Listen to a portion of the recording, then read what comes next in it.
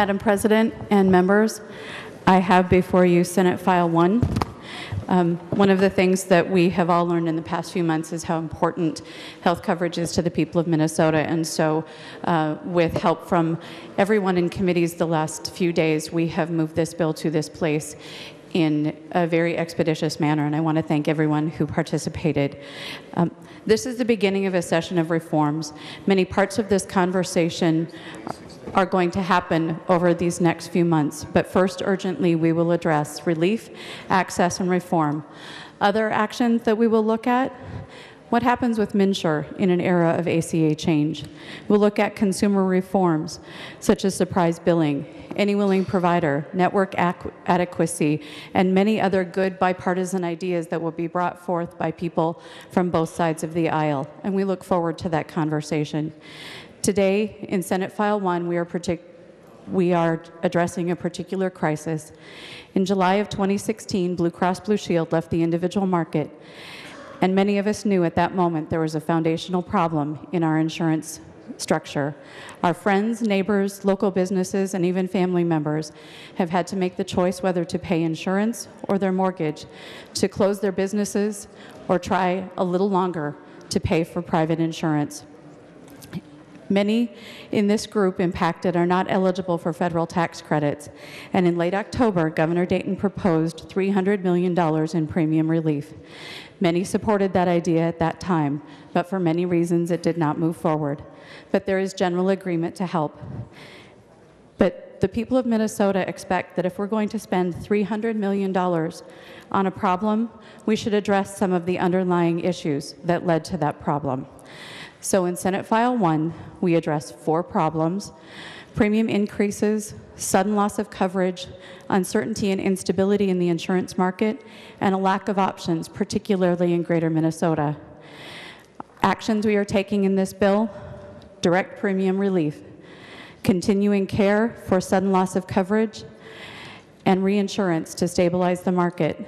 We also provide an innovative ag co-op health plan and some small employer reforms to help meet some of the pressing needs in greater Minnesota. Now, members, to the bill. In Article 1, we address premium assistance. Our provision asked that only those who apply for the help would get the help. We implement means testing, and we have graduated premium relief. Our focus is on those who are most in need. We also include an audit and recovery of funds if they are inappropriately applied to premium relief. The funds in this provision come from our reserves, and unspent funds will return to the reserves. And Madam President and members, if you turn to page four, you'll see the means testing that we have outlined uh, beginning at 300% of the federal poverty guideline and going to 800% of the federal poverty guideline. With step support at each of those levels, we believe that this graduated relief is more effective in helping Minnesotans than other proposals that we may have seen.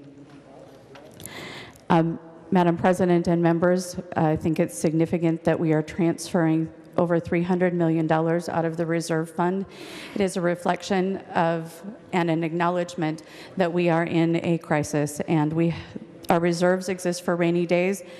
And as one of our colleagues in the House said, it's raining for a lot of Minnesotans, and so appropriately we're using rainy day funds.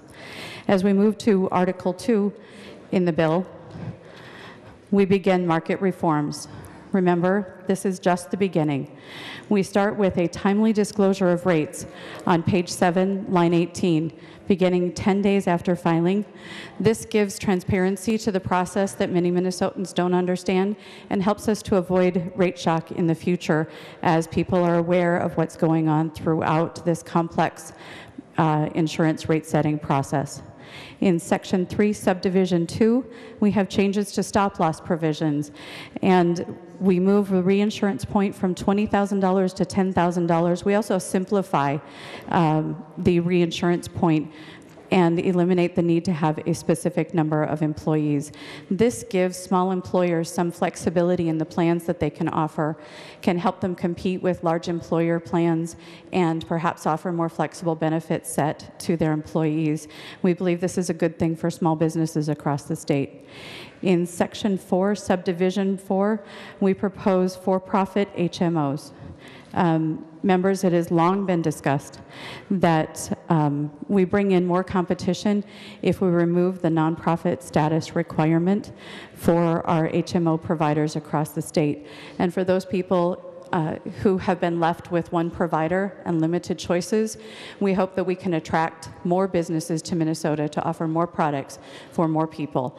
And uh, one particular particular note that might make members of the body a little uncomfortable, and I've pointed this out in a couple of committees, the reference to foreign in this section simply means the business isn't domiciled. It didn't start here in Minnesota. It perhaps is incorporated in Delaware or Wisconsin. And so I wanted to address that right up front so there would be no question. Continuing through our reforms, uh, we deal with transition of care for those people who have lost their coverage because their health plan is no longer offering in the individual market across the state or in a particular geographic area, we are assisting them in specific circumstances for specific conditions to transition from a provider they're comfortable with to a new provider in a new network.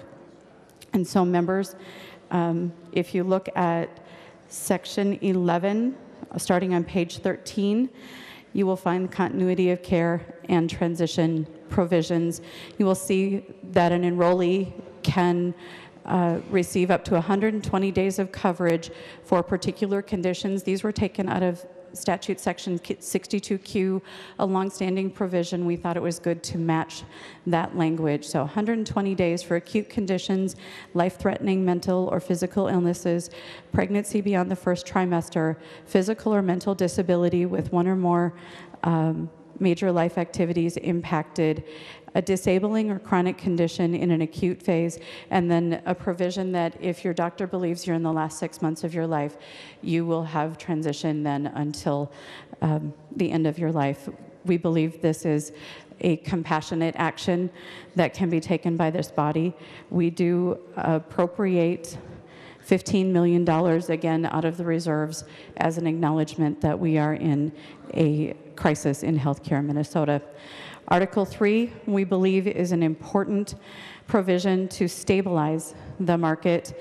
Um, it's a reinsurance provision, and as you've heard, if you've been uh, following the committee process this week, Commissioner Rothman raised this as a potential option in October of 2015, and those of us on the Healthcare Financing Task Force have raised it as an issue over the course of the last 18 months or so. Um, we believe that it is a reasonable step to take in stabilizing the market, and we look forward to hearing the governor's provisions with regard to reinsurance. But specifically to this portion of the bill, we uh, develop a governance structure that is uh, that copies the MCHA board that many of us are familiar with. We like to start with something that people are generally comfortable and understand, and we believe that they can provide good governance for a significant insurance provision. Um, members, if you look at page 18, you'll see the parameters of this reinsurance pool. If a claim reaches the $70,000 point, 50-50 coinsurance engages until the $250,000 point. That helps give some certainty and comfort to insurance companies as they're developing their rates for their plans, that should they have an unusual spike in claims in that very expensive range, that they will have some assistance. But it's important, members, we wanted to, as they say, keep them with skin in the game so that plans providers continue to have motivation to contain costs and limit um, some of the more expensive procedures that might happen if full reinsurance engaged without a 50-50 copay. And let's see. It is funded, members, if you look at the appropriation is on page 21, $150 million uh, Commerce has estimated for us that that provides 10 to 12 percent premium relief. As always, we are open to ideas from Commerce as we intend to move this to a conference committee. Um, that $150 million comes out of a general fund appropriation for fiscal year 2018, so that would be impacting our current budget surplus.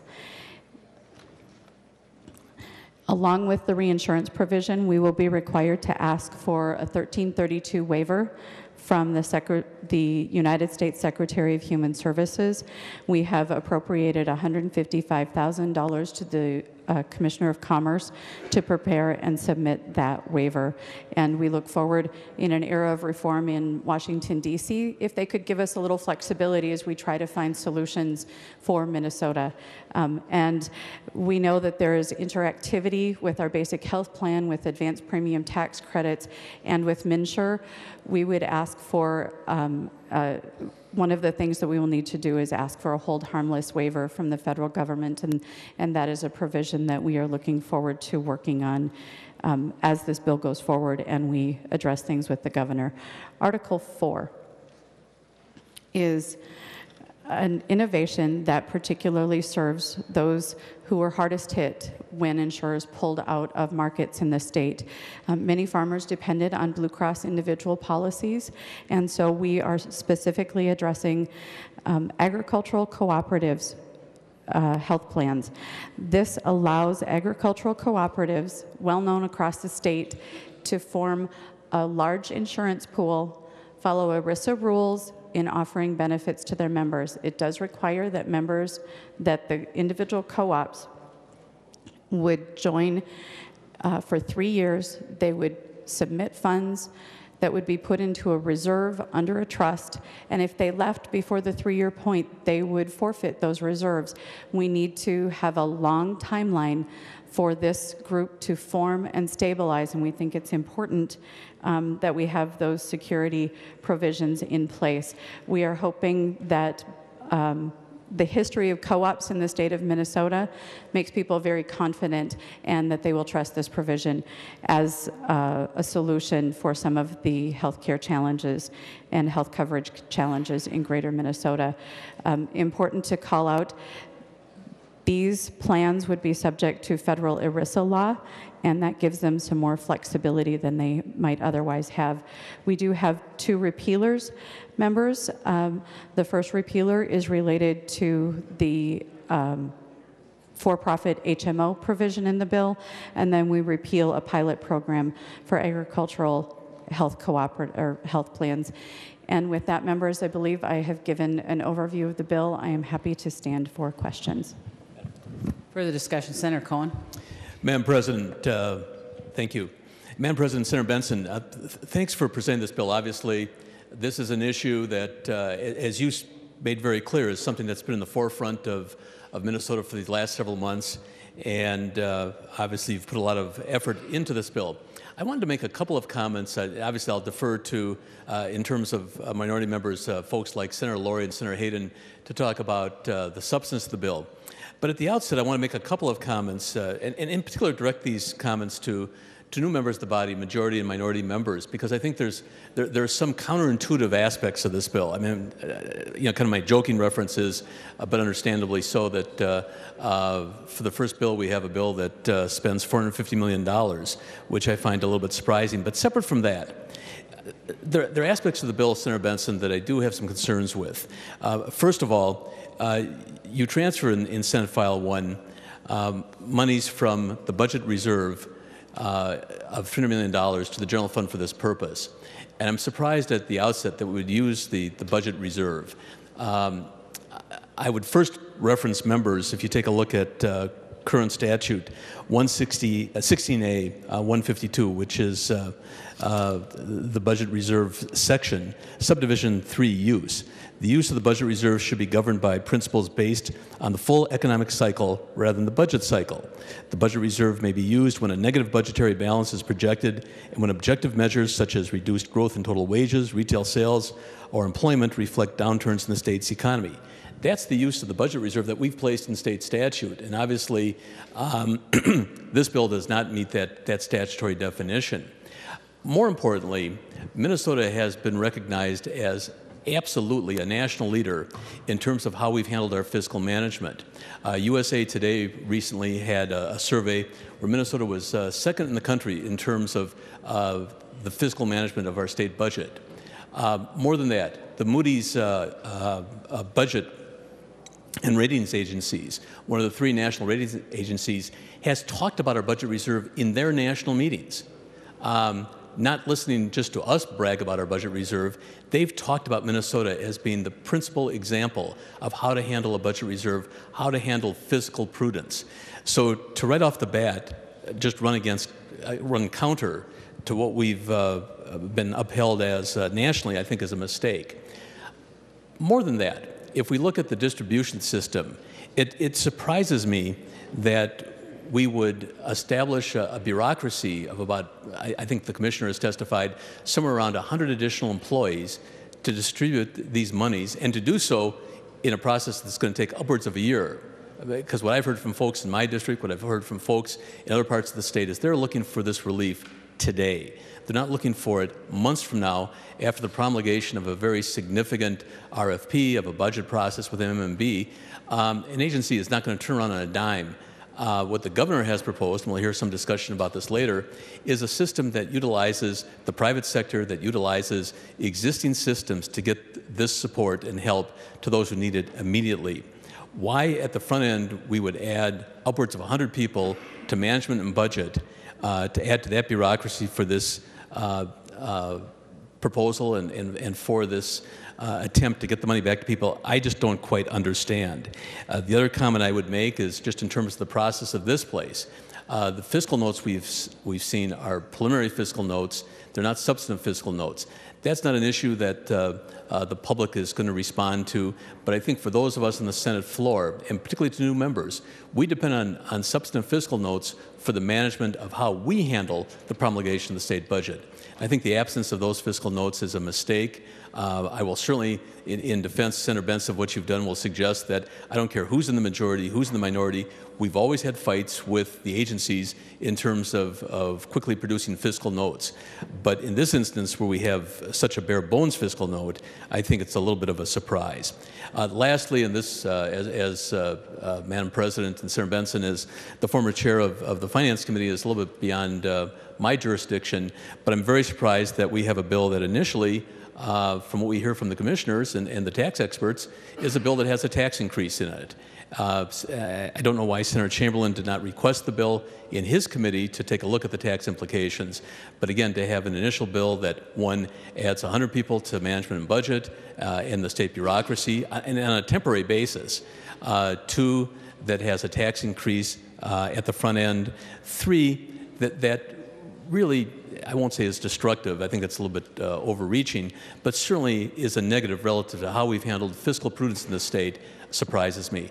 Senator Benson, I would hope that maybe uh, as, as uh, work progresses on this bill during the course of this afternoon, that you might consider uh, thinking about some of those issues and trying to accomplish your same purpose, your laudable purpose, but to do it in a way that makes fiscal uh, sense, uh, that makes fisc- that, that's fiscally prudent, and something that would match what you want to do, but do it in a better way. And, and thank you, Madam President. Further discussion? Senator Lourey. Uh, Madam P President, I'd like to offer the A16 amendment.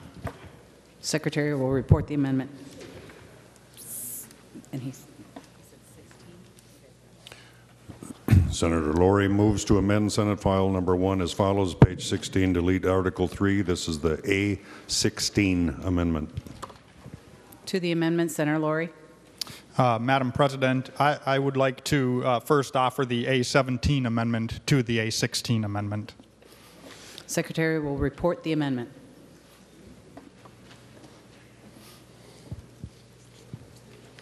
Senator Lourey moves to amend the Lourey amendment to Senate File Number 1 as follows, page 1 after line 1, insert. This is the A17 amendment. To the amendment, Senator Lourey. So, Madam President, um, what we have before us is, I'll just describe it briefly and then make a few comments. What we have before us is the governor's um, proposal for immediate premium assistance that has been talked about a great deal. I won't dwell on it. Um, It is a bill that I have introduced uh, here in the session this year. It has um, been uh, demonstrated over and over again to be the one that can actually get premium assist- premium assistance out to Minnesota families immediately. Um, In addition to that, uh, we have uh, funded it from the general fund without a transfer from the reserves, and we have eliminated the uh, healthcare access fund piece of it. And then also because it also because it really has a 2017 impact, we have included um, the the uh, item from Senate File 1, which does the continuity of care for people in a current course of treatment. We think that is a good idea, so it's that $15 million plus the governor's um, proposal for the th- uh, $300 million package. You know, if we were to send Senate File 1 into conference committee off of the floor today, um, we would have extremely delayed relief for Minnesotans trying to make their um, choices about the insurance product that is right for them and their families and how they access the important care that Minnesotans all across this state receive. It's delayed by two factors. Number one, these additional items in Articles 2, 3, and 4 in Senate File 1 will take significant time to negotiate between the House, the Senate, and the governor. We don't have the luxury of time. In three days, people need to make their choice if they want um, insurance that is effective for February of 2017. There's already, you know, this is an estimate, but tens of thousands of Minnesotans without insurance today that had insurance two weeks ago. They're waiting for us to act and offer relief for them immediately. By passing a clean bill to the governor that provides that relief, we can get that signed today, and they can get insurance that is effective for them in February and stabilize this 2017 marketplace. Uh, you know, one thing that I will um, take note of is that, you know, during the fall, over two and a half months ago, the governor put this out. And as we worked, Senator Benson and I, and, and I appreciate all the um, collaborativeness that, that she and I have had over the years when I was chair and now that she's chair, we continue to talk. And one of the points that was consistently made by Senator Benson is that as we approach this very serious issue, we need to focus on three aspects. Number one is immediate relief, number two is uh, medium term relief, and number three is long term relief. The, immediate, the immediate relief is for 2017 to stabilize that marketplace. If we don't have people buy into the 2017 marketplace, our, our um, uh, uh, solutions for 2018 will be that much more uh, difficult to um, accomplish. So the time that it will take to negotiate out the rest of the terms in Articles 2, 3, and 4 of this bill will delay that relief. The other way that the relief is delayed is by the mechanism incorporated in Article 1 of Senate File 1, where there is an incredibly burdensome eligibility tool that needs to be developed. It would either be uh, an additional 100 or so FTEs in the part of uh, Minnesota Management and Budget, Myron Frans has testified to that, or um, a uh, uh, uh, RFP put out and have a private vendor um, build this system. They wouldn't be able to have the RFP done till sometime in June or July, and the relief would not hit Minnesota families until sometime in 2018. That is not going to help stabilize the 2017 marketplace.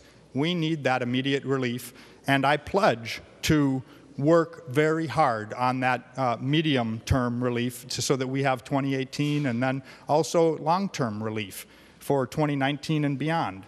Um, I think that the ag co op language has a great deal of merit. We've tried to work on that before. I, I think we can get that across the finish line. But I don't think we should allow it to delay the um, premium relief for today. Um, you know, I know there was a, an amendment offered in Health and Human Services for county-based purchasing um, uh, options to try to bring them into the individual market and provide additional options for people, uh, particularly in greater Minnesota. I think that has a great deal of merit, but it's really complicated. One thing that members, you know, will learn as we go is health care is hard. It is really complicated. We are not able to get through these complicated issues in time to provide this premium subsidy for Minnesota families. That's what we need to focus on. Um, the, the reinsurance that is in Senate File 1 is another one that I think that we really can come to some meaningful agreement on. It is highly problematic in the way that it is structured in Senate File 1. If we have a 10%, you know, uh, Senator Benson testified um, that we that that Commerce is stating that this 150 million dollars for a, this particular version of a reinsurance program might mitigate uh, premiums by 10 or 12 percent. If it mitigated premiums by 10 percent, it would cost us um, uh, nearly 80 million dollars in federal reimbursements for our Minnesota Care program. You know, we are supplanting state dollars for dollars that would otherwise flow from the federal government. There is also a great uh, a 10% reduction in the amount of federal revenues that would flow through advanced premium tax credits for people purchasing um, their, their products on the exchange. It is close to dollar for dollar trade off. We put Minnesota money in, the feds take federal money out. That is not a good deal for the state of Minnesota. The waiver is a, a, really good idea to try to get the feds to agree to hold Minnesota harmless for trying to make these fixes, but this should be contingent upon that, and if, if we aren't able to secure such a waiver, then we should um, postpone it. These things take time. We owe it to the people of Minnesota to put this premium subsidy out in a way that they can understand and a way that they can make their choices in the next couple of weeks so that we can stabilize the 2017 marketplace.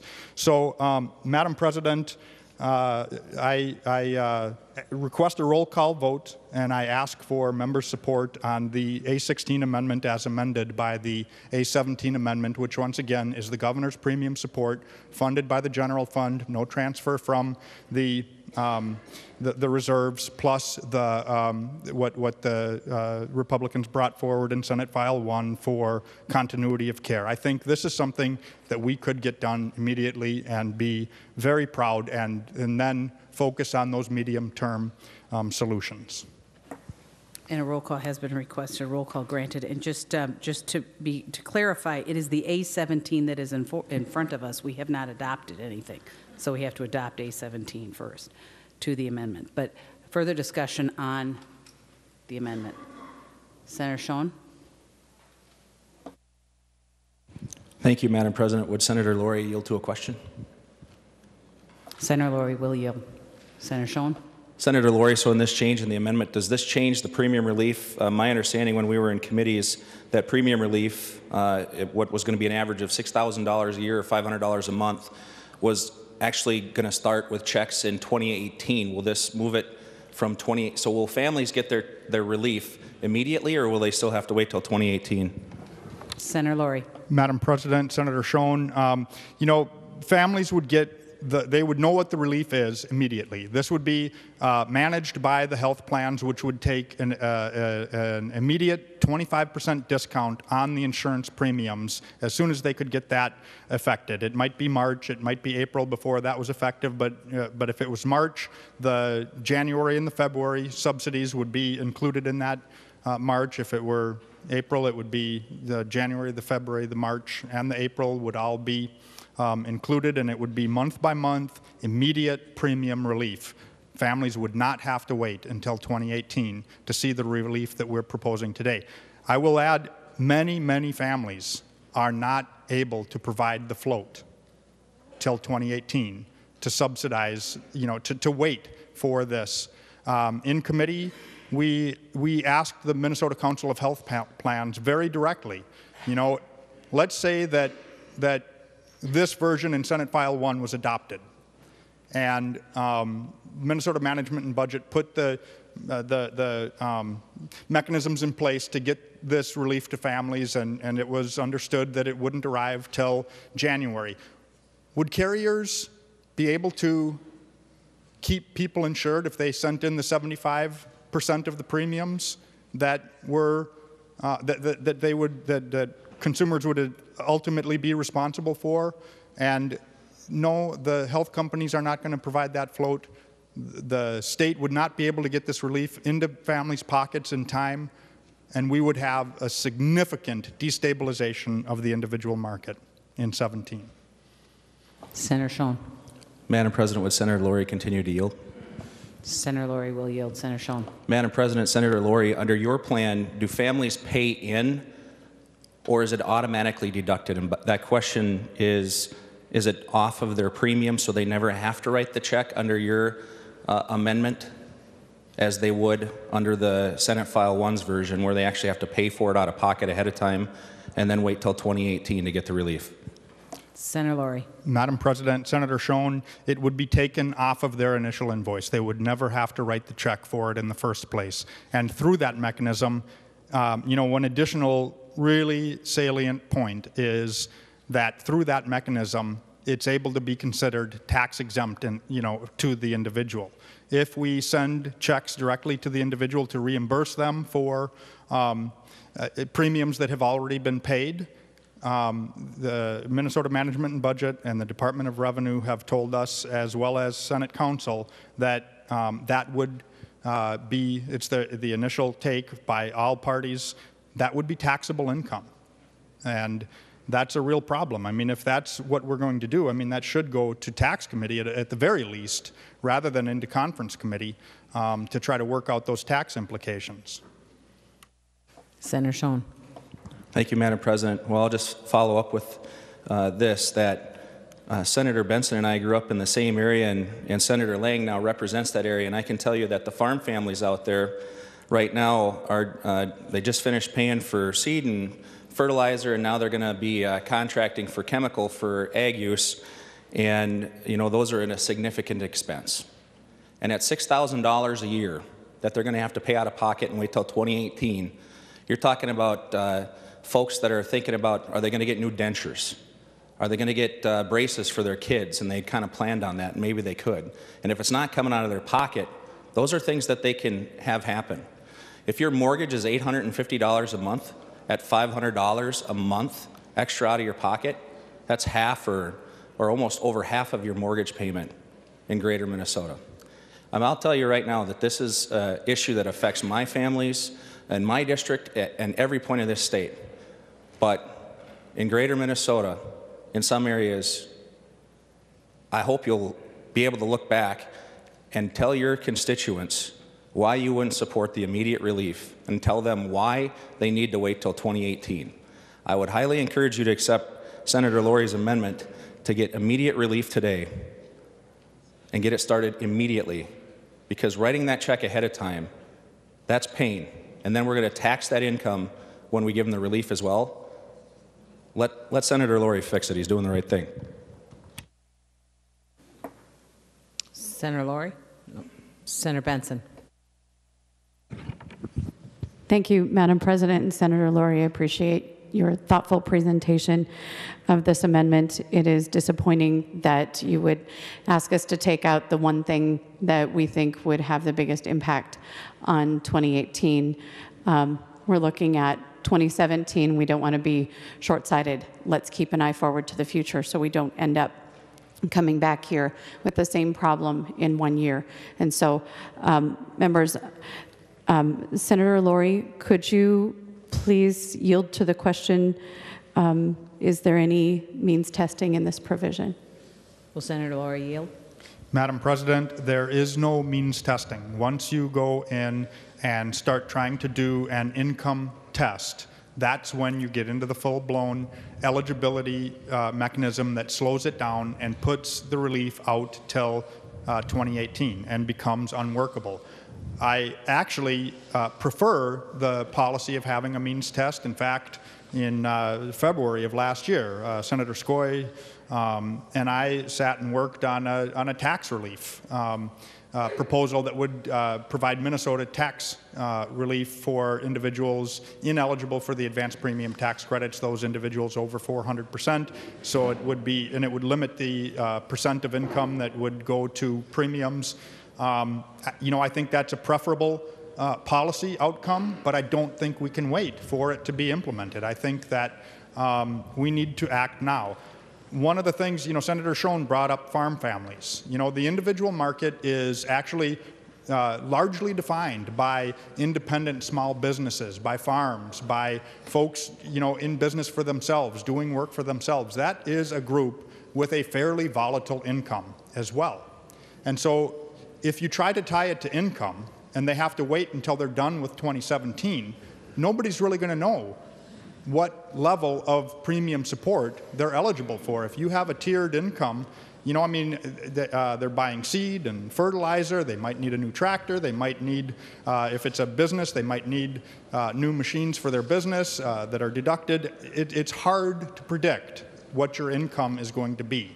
This is simple, easy to administer, easy to understand, and will bring people forward to, sub, to, to, to provide that stability to the 2017 marketplace that we can then use to go into um, taking a look at uh, 2018 and beyond. And again, um, I, you know, I, I, actually find great merit and think we can get these other pieces across the finish line. The, the reinsurance um, is a really complicated provision. I think that we should try to figure out how to do it and make sure that we're held harmless by the feds or find some you know, uh, way to use that investment to stabilize the market beyond that without um, giving up the federal funds, that's going to take time.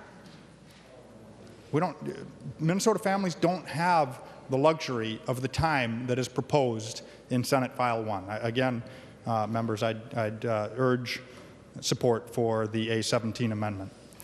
And Senator Benson. Madam Chair, again to the A17 amendment, I see that there are transfers of data from the health plans and there are some data protections, but one of the big concerns that was raised was the amount of data that would be going back and forth. So that data would have to go to the Department of Commerce for audit purposes. Our provision has a far superior audit provision in that the Office of the Legislative Auditor would be working to ensure program integrity. Um, and Madam President, we have been working with uh, the Commissioner of Management and Budget to try to streamline this as much as possible while allowing means testing, while having program integrity here at the state of Minnesota where we as legislators, as policymakers can keep an eye on it. And so members, I'm going to ask you to oppose the A17 amendment, even though it does have uh, the transition of care, and I think we have our first point of agreement, and I am grateful for Senator Lourey pointing out that we do have significant agreement on that, which was not already originally in the governor's proposal. We have made progress, members, and uh, haven't even gotten all of the governor's ideas. And I would ask that we leave reinsurance in this bill. Again, it's significant, and it has to be moved early in this session. And we look forward to having more ideas brought forward. As Senator Lourey said, how do we do this better? The Department of Commerce has been working on this since October of 2015. I'm sure they have ideas, and I look forward to them being brought forward. I would ask members to oppose the A17. Senator Hayden. Well, thank you, Madam President. Um, and um, would Senator Benson yield for a question? Senator Benson will yield. Senator Hayden. Well, thank you, Madam President. Senator uh, Benson. So, uh, in your provision, you really, uh, or you gave the reason that you oppose Senator Lourey's uh, uh, amendment is one of the things is the lack of means testing. Uh, Senator Benson, to the question, do you know how many people that you think would receive premium relief that would be over 800% of poverty? Senator Benson. Madam President, the Commissioner of MMB referred to it as several million dollars going to people who made in excess of a million dollars. And so, um, and also there was a governor's provision, I'm sorry, not over a million, uh, made over 800% of the federal poverty guideline. I don't want to mislead the body. Several million dollars worth of relief going to people over 800% of the federal poverty guideline. In our provision, those people would have to apply and ask for the money and um, even if you're at seven, 800%, if you don't want to apply and ask for the money, you don't get it. You don't receive payments from taxpayers if you don't want them. Under the governor's provision, even people who didn't want the relief would receive the relief. And so I, I think that some method of means testing would make sense. And um, to a conversation Senator Lourey brought up earlier, uh, he and I have worked on this, and there were some initial calculations done that around $20 million in the governor's provision would go to people who would be eligible for advanced premium tax credits. And so if we don't have any provision to check that, we're spending nearly $20 million on people who are already eligible to receive federal relief. And so I think some means testing is a reasonable step to take with $300 million. Senator Hayden? Well, thank you, Madam President, Senator Benson. So I would continue to kind of yield to see if we had a fiscal note, um, if the, it seems a little bit of a back of the envelope uh, discussion that the uh, Commissioner of Management and Budget said because we haven't had very many fiscal notes for this bill. So I'm not quite sure, members. That is kind of to Senator Cohen's point of the issue of our process and going through and ensuring that we have the information that we need, that we've looked at fiscal notes, that we haven't necessarily guessed to try to figure out how many people would or wouldn't, we'd actually know that. So we'd know that if we had a 15 or 20 million dollar system that we're building to figure out to, to create a means test that would go away next year, that we'd actually know if there was a return on that value. We would know how many people that we would kind of that would apply that we would know that we wouldn't give this subsidy to because it, what if it's five hundred thousand dollars?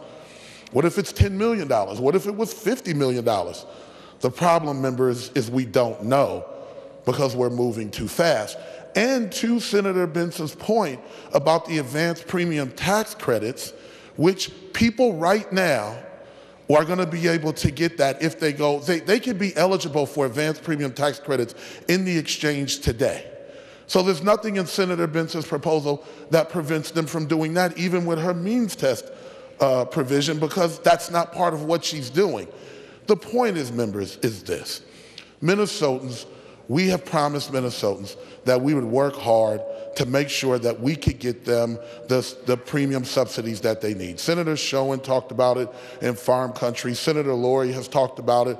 We talk about it right here. I have heard professionals that frequent this building every single day that need that relief that can't continue to make that flow. So what happens is we should move forward, get the relief to people that they need today. The provisions that are in the rest of the bill, Senator Benson is the chair of the Health and Human Service Committee here. The Health and Human Finance and Policy Committee, Senator Benson is in charge of. She sets the agenda. That's what you do in the majority. majority. You set the agenda. You walk us through those paces. I'm a member of it. We are prepared, those of us that are on the committee, to walk through this. We haven't suggested that, it, that those are things that we don't want to do or that we might not want to do. We want to have the information. We want to figure out what are the unintended consequences. In this particular case, Senator Benson has joined all of these provisions that, once again, we have not suggested are good or bad because we don't know. We want to get the information right? We want to send that bill on to the finance committee. Yesterday, we sent the bill on to the finance committee, and we didn't have all of the information for finance committee members to understand what they were doing. Because some reason we had to fast track the whole bill. That's not what Minnesotans are asking us to do. They've been asking us since last year to get them the premium relief. They've been saying, listen, I'm not, I don't know if I can afford health insurance unless this gets by, unless someone helps me with this. They're saying, hey, I'm putting this on my credit card, but I sure hope by March or Madam April. President, Senator Benson, for what Point of- purpose do you rise? point of order, is this to the amendment?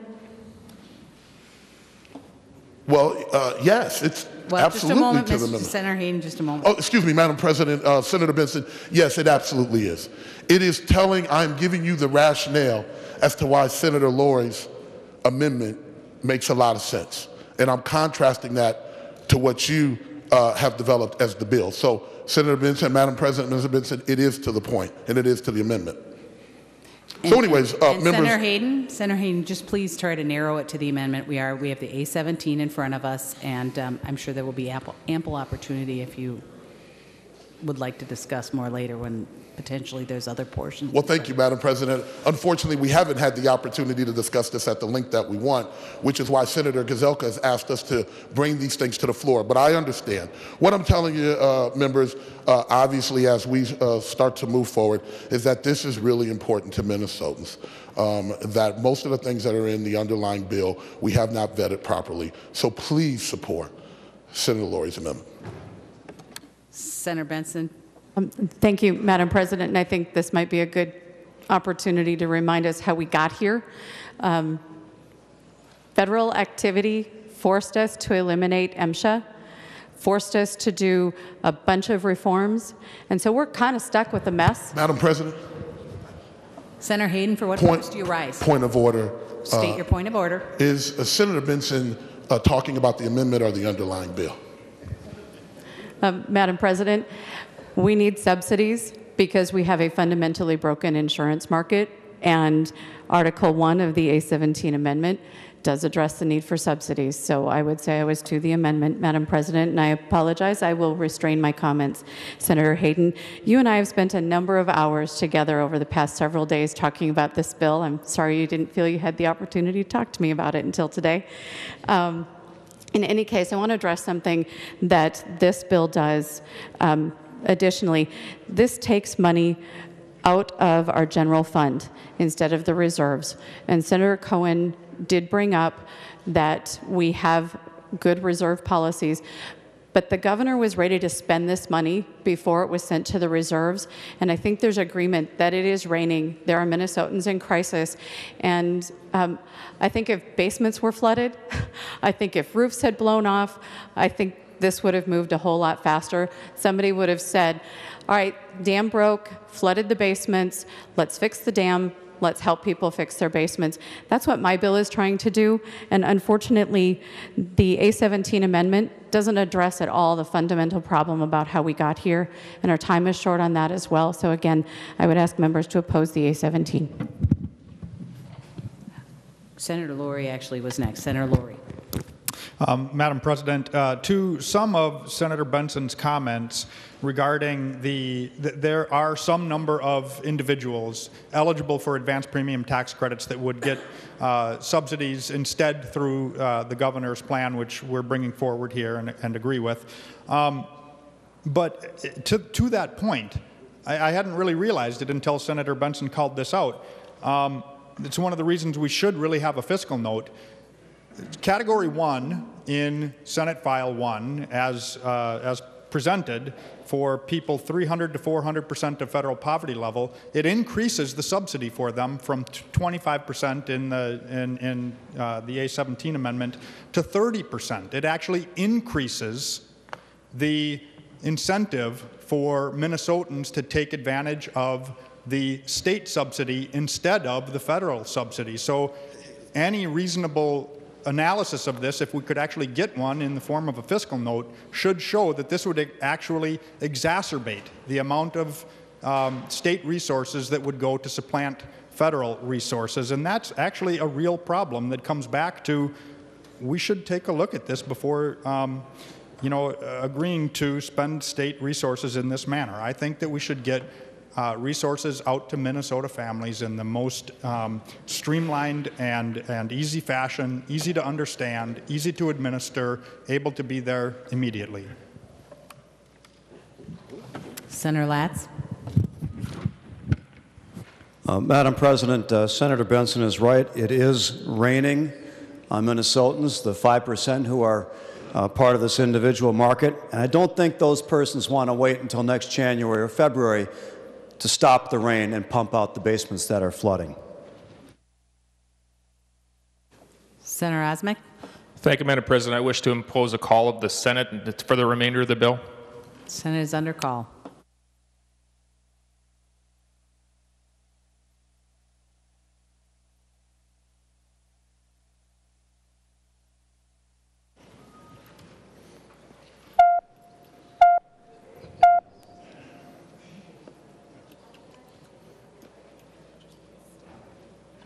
Senator Osmek. Thank you, Madam President. I move that further proceedings under the call be dispensed with and the Sergeant at Arms be instructed to bring in the absent members. On that motion, all in favor say aye. Those opposed, no. Motion does prevail. Senator Abeler. Thank you, Madam President. For the people at home, that wasn't the vote on the passage of the bill. That's just another technical thing we're doing. Um, Madam President and members, uh, this is a really important debate. And a lot of us, including me, tried really hard to get a special session to get this worked out. And uh, this, I don't know how long the debate's going to go today, but there's a lot of background which I'm not going to go into, except to say that I wish this could have got done on November 9th or uh, December 23rd or sometime to get this going. And, but beyond that, this is the bill, members, uh, because the uh, inability to make, come to a decision uh, before the election and just in the weeks after, this is the bill. This is the bill that is going to, at some point, come back and be the relief bill. And so you can vote however you like, but my interest is to vote to advance a bill that's going to bring relief to Minnesotans. If if, if the uh, people who are going to choose to vote no prevail, there will be no bill to move forward to help Minnesotans of any sort. And that's important to me. And if this, if the Article 2 of this bill fails to go forward, which is part of the amendment that's here, we will have less opportunity to draw more plans into Minnesota and give people choices. Currently, we are uh, mostly run by nonprofit HMOs that have as their mission serving Minnesota in multiple ways, either as group policies or individuals or third party administrators. And over the course of events, and we can argue, I'm sure we will later, whose fault it was and who did what to whom and what bill was it and what should be repealed or not. But over the course of time, those nonprofit HMOs have actually retrenched their work. They have actually gone out of serving some people in this state. The people are receiving literally no options and they have to take horrible options now. And if art- the point of Article 2 is to bring more plans, more entities into serving Minnesotans, can If we allowed for profits in, would they come? I don't know, but what if they could? Maybe one would. What if we allow co ops to form an agricultural co op and, and buy insurance for themselves? Uh, I live in uh, the farming community of Anoka. Well, not exactly, but I've been talking to farmers across Steele County and other places um, that are paying $40,000 for a plan. $40,000, that's maybe half their family income. They are being crushed. This bill will give them some relief for the short term, but if we don't do something to get those other groups into Minnesota and thinking about it now, they will have the same situation next year. That's the point of Article 2. That's why today, that's why those ways to bring in more opportunities for those people, especially in greater Minnesota, are, are necessary. But to the heart of the bill, uh, I read the AARP. Thank you, Senator Lourey. I read the letter. And it's interesting, they have a sentence in there uh, on page one. It says, While AARP is generally more supportive of the targeted approach to relief, uh, which this bill provides, they're nervous about the timing. Well, frankly, so am I. But if we ever want to have a chance to make sure the people who have the least ability to withstand these increases and get 30% of uh, the rebate, this is the only way it's going to happen. Uh, the 25%, I supported that in, in, uh, in November, I supported it in December, and if that's what we have to settle for, I'll support that. But the only way we can target more to the people in the greatest need who are suffering the most harm, these small businesses on Main Street who are working for just above the, the line where they get a subsidy, and they're the backbone of our communities. The only way is to vote for this. And and so I know the opinions of the departments. I think uh, I, I, commend uh, Commissioner Frans and Commissioner Rothman for their engagement in this process and their work and their best opinion. But those are still their best opinions. Um, we're barred from using MNsure to do uh, uh, uh verifying of uh, income. Well, is that really how it has to be? Could you think Washington couldn't give us the ability in a short amount of time to use that as a way to check income? We don't know for sure. We'll know in a short time if that's going to be possible or not. But for today, do you think we should give everybody the same amount of money, the same percentage, or should try to help people who really, really are in harm's way? And members, that's the discussion today. Are you going to vote to do something to help somebody? Or are you just going to say no? Are you going to vote to try to get it to people who are in the most dire of circumstances in this horrific time for them? Members, I urge a, a no vote on the amendment and a yes vote on the bill. Thank you. I have several people on the list, so if it's specifically to that, I could respond. Otherwise, I have Senator Hayden. Well, thank you, uh, Madam President. Will uh, Senator Abeler yield for a question? I'm sorry, Senator Abeler, you Yes. said? Senator Abeler will Good. yield. Well, Madam President, Senator Senator Abeler, um, I was really listening to what you had to say about all of the various ideas. We all know, and this is a compliment, how creative you are about thinking about these things to help Minnesotans. Um, I remember, Senator Abeler, until the question is in the I think it was Senate File 55 in the Healthcare Committee, you offered an amendment that went on that county-based purchasers could get the opportunity to take a look or to be involved in offering uh, uh, a plan on the individual market. I didn't see that in the bill. Is that in the bill that Senator Benson presented to us? Senator Abeler. No. Senator Hayden? Well, well, thank you, Madam President. And uh, Senator Abeler, do you know why it isn't in the bill? Madam President, point of order. Senator Pratt. Thank you, Madam President. Uh, point of order is that we're talking about the Lourey amendment, not an amendment that would have been put on in a committee to the rest of the bill. And so I would ask that we redirect the discussion back to the A17. Senator Pratt, your point is well taken. Please direct your, your information to the A17 amendment. Uh, Madam President, to Senator that Latz, point, for what purpose do you rise? uh, to that point, Madam President, Point of order? to the point of order, yes. Senator Latz. Uh, Line 1.3 of Senator uh, Lourey's amendment deletes articles, proposes to delete Articles 1 and 2 of Senate File 1. So it's important for the body to know what's in Senate File 1 that is proposed to be deleted. Uh, So the questions about what is in the underlying bill is entirely relevant and within the order of this discussion.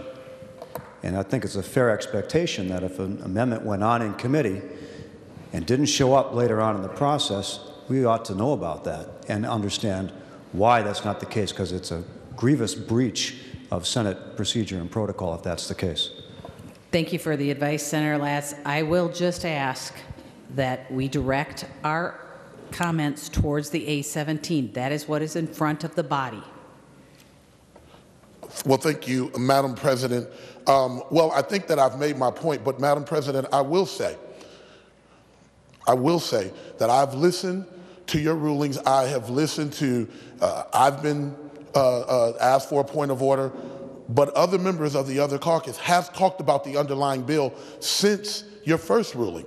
So I just want to make sure, I noticed that with Senator Latz the other day, that he didn't get an opportunity. I just want to ensure that as you make those rulings, that you are being fair. Senator Benson talked about the underlying bill. Senator Abeler talked about the underlying bill.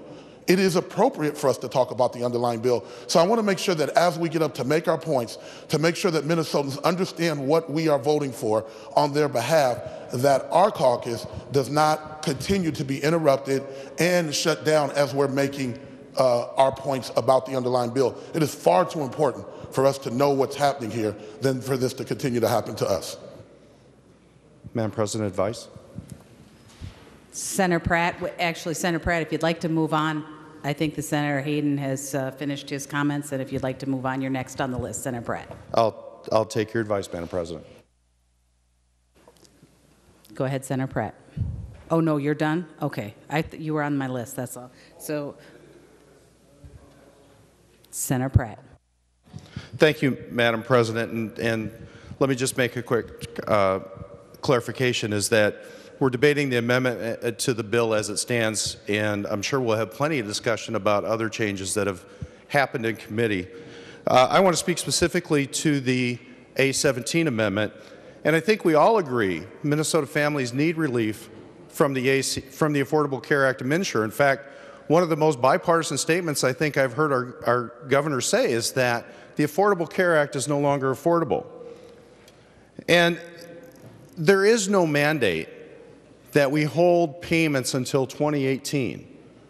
Now, I sat and I listened to Commissioner Frans uh, in Commerce talk about the timing of, of how we could process these payments. And I work in a highly regulated industry, and I've had to turn around these types of, of requests on very short order. And I am confident that we've got smart people in the department that will figure out a workaround to turn these payments around to, uh, to uh, insureds uh, in very short order. But I also believe that we've had a long discussion in commerce, a long discussion about stability of the market, and I think that's the key difference between the A17 and the bill that's being presented. Commissioner uh, Rothman stated that we need premium relief to stabilize the market, and I agree. But premium relief alone won't stabilize this market. We need to have reform so that we can have some certainty going into 2018. The public, or I'm sorry, the, the commissioner has known about this collapse in the individual market for seven months. He knew it back in June, is what he stated in the Commerce Committee. And they've run several, several models on reinsurance, and yet we don't have a single recommendation from the administration on reform. And now we have a deadline coming up in June when insurers have to present their rates for 2018. They're working on that right now. They need to know what this body stands for. Do we stand for just kicking the can down the road and only giving premium relief, or do we really want to stabilize this market, truly stabilize this market, with some modest reform? And so, members, I encourage you to vote down the A7, A17 amendment because it, it only goes halfway to where we need to be. It only goes halfway to really stabilizing a market and giving Minnesota families uh, the, the certainty that they need, not only for this year, but for next year as well. Senator Marty. Madam President, I wanted to respond to two things Senator Abeler said. First of all, I, I would love to. I mean, he said how we'll make sure the people who most need these, the relief, get the relief. That's a good idea to make happen, but when you're talking about something that's going to cost $20 million to set up a bureaucracy to means test it, for we don't know how many people are over 800% of poverty who it might rule out, it basically means the people you want to help aren't going to get any help for a year. So if you want to help the people, Senator Lourey's amendment will help the people. If you want to wait and figure out to make sure nobody's getting something we don't want them to get and we're going to spend $20 million to make it happen, that's what the underlying bill would do. So if you want people to get help, if people, farmers, others need the help now, they're only going to get the help if it can happen quickly, and it's only going to happen through Senator Lourey's amendment. And the other portion of it about Article 2, I, I understand what you said. You wanted more people into the market. Somehow, if the goal is to bring down healthcare costs, I'm not sure that bringing in Anthem and Aetna and all the national for-profit insurance companies to take their profit out on top of it is going to bring down the rates. I do not believe bringing them into Minnesota is going to be a plus. And you can argue that we can't. We should argue those issues, but we should argue them not in an urgency where we have to put this thing together, no fiscal note or no complete fiscal note. We're going to do all this now because it's so urgent we have to do it. And if we pass this, it's not going to happen anyway unless we put on Senator Lourey's amendment. So I argue both taking out Article 2 is important, and also Article 1 doesn't work the way it is here. That's the simple fact. I'd rather do it with the means testing too, but it doesn't work. We've heard that. Nobody has an idea how to make it happen of course, they will bring in 100 new employees, $20 million to administer a one-year, one-time program. That just doesn't make sense because it's not going to help. Further discussion, Senator Lourey. Uh, thank you, Madam President. To, to Senator Pratt's uh, comments, uh, mostly directed at the reinsurance product. Um, you know, I said it during my initial remarks, which got a little lengthier than I had intended, but I, I think maybe a piece of that was missing Uh, was missed. I actually do think that the idea of reinsurance is a really valuable idea that we likely can bring across the finish line. It's also a really complicated idea. It is going to take some significant time to figure out the reinsurance model that actually works for Minnesota. The one that is before us today, we put Minnesota dollars in, to our healthcare system to try to stabilize it, and nearly dollar for dollar, those dollars are taken out of our healthcare system by the feds. Okay? That's not going to work to bring stability to the Minnesota marketplace. We need a reinsurance model that makes sure that we get a hold harmless through a waiver or some other mechanism so that we don't lose to the feds every single dollar that we put in. And I commit to the body today to work hard on the reforms uh, to stabilize the individual market and small group market in, uh, reforms as well. If, if, uh, if we can work some of those out, there are things that we can agree to. They are complicated, they take time, they need to be done right. If we send this in and take the time to actually understand and make the right decisions on these really complicated models, this premium support will not get to families in time for them to be able to be active in the 2017 marketplace. And we will have that degradation, that additional degradation that has already occurred that makes 2018 that much farther out of reach. So I don't think we're in that much disagreement about the needs for some of these um, important uh, uh, uh, ideas that are brought forward in Senate File 1. I think we need to be more deliberative, find the, um, the analysis, be more certain about what they're going to do, how they're going to work, and uh, bring those forward. And I pledge to, to work collaboratively with my uh, friends and colleagues across the aisle as we move forward. But it should not be used to delay immediate relief to families all across Minnesota. Further discussion on the A17 amendment. Seeing none, the secretary will take the roll on the A17 amendment.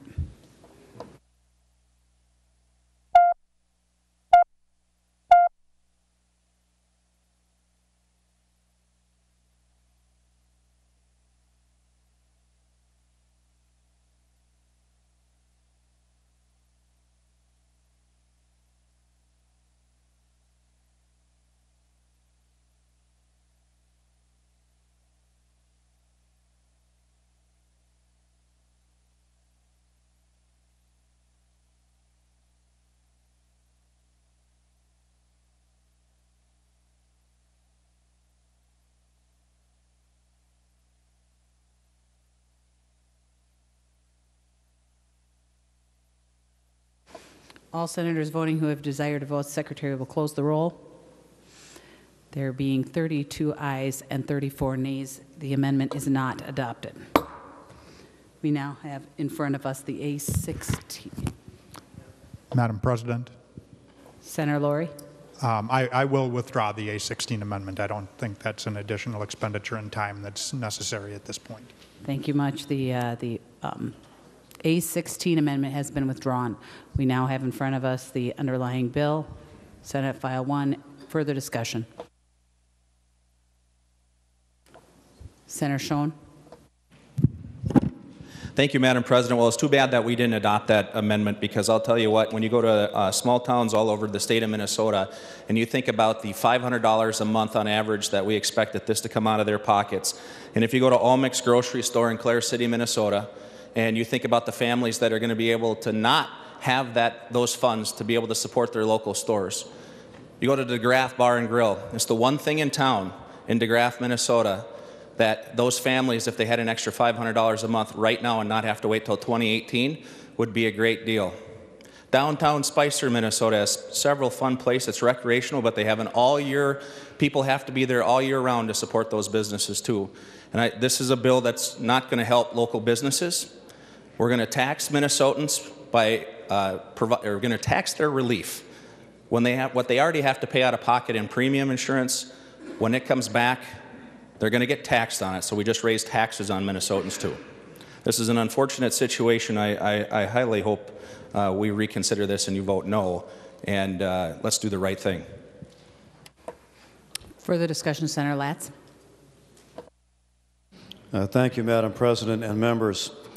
Well, Senator Benson, in her initial remarks, said that uh, pe- people would have to choose between their health care premiums and their mortgage under the current system, and her bill is intended to prevent that. But the fact is, they will still have to choose between their health care premiums and their mortgages for at least the next year.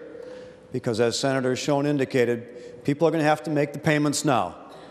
They're going to pay $500 more a month for that health care insurance, on average a full $6,000 for the upcoming year until they get their premium refund from the state with this new bureaucracy uh, next January or sometime in 2018.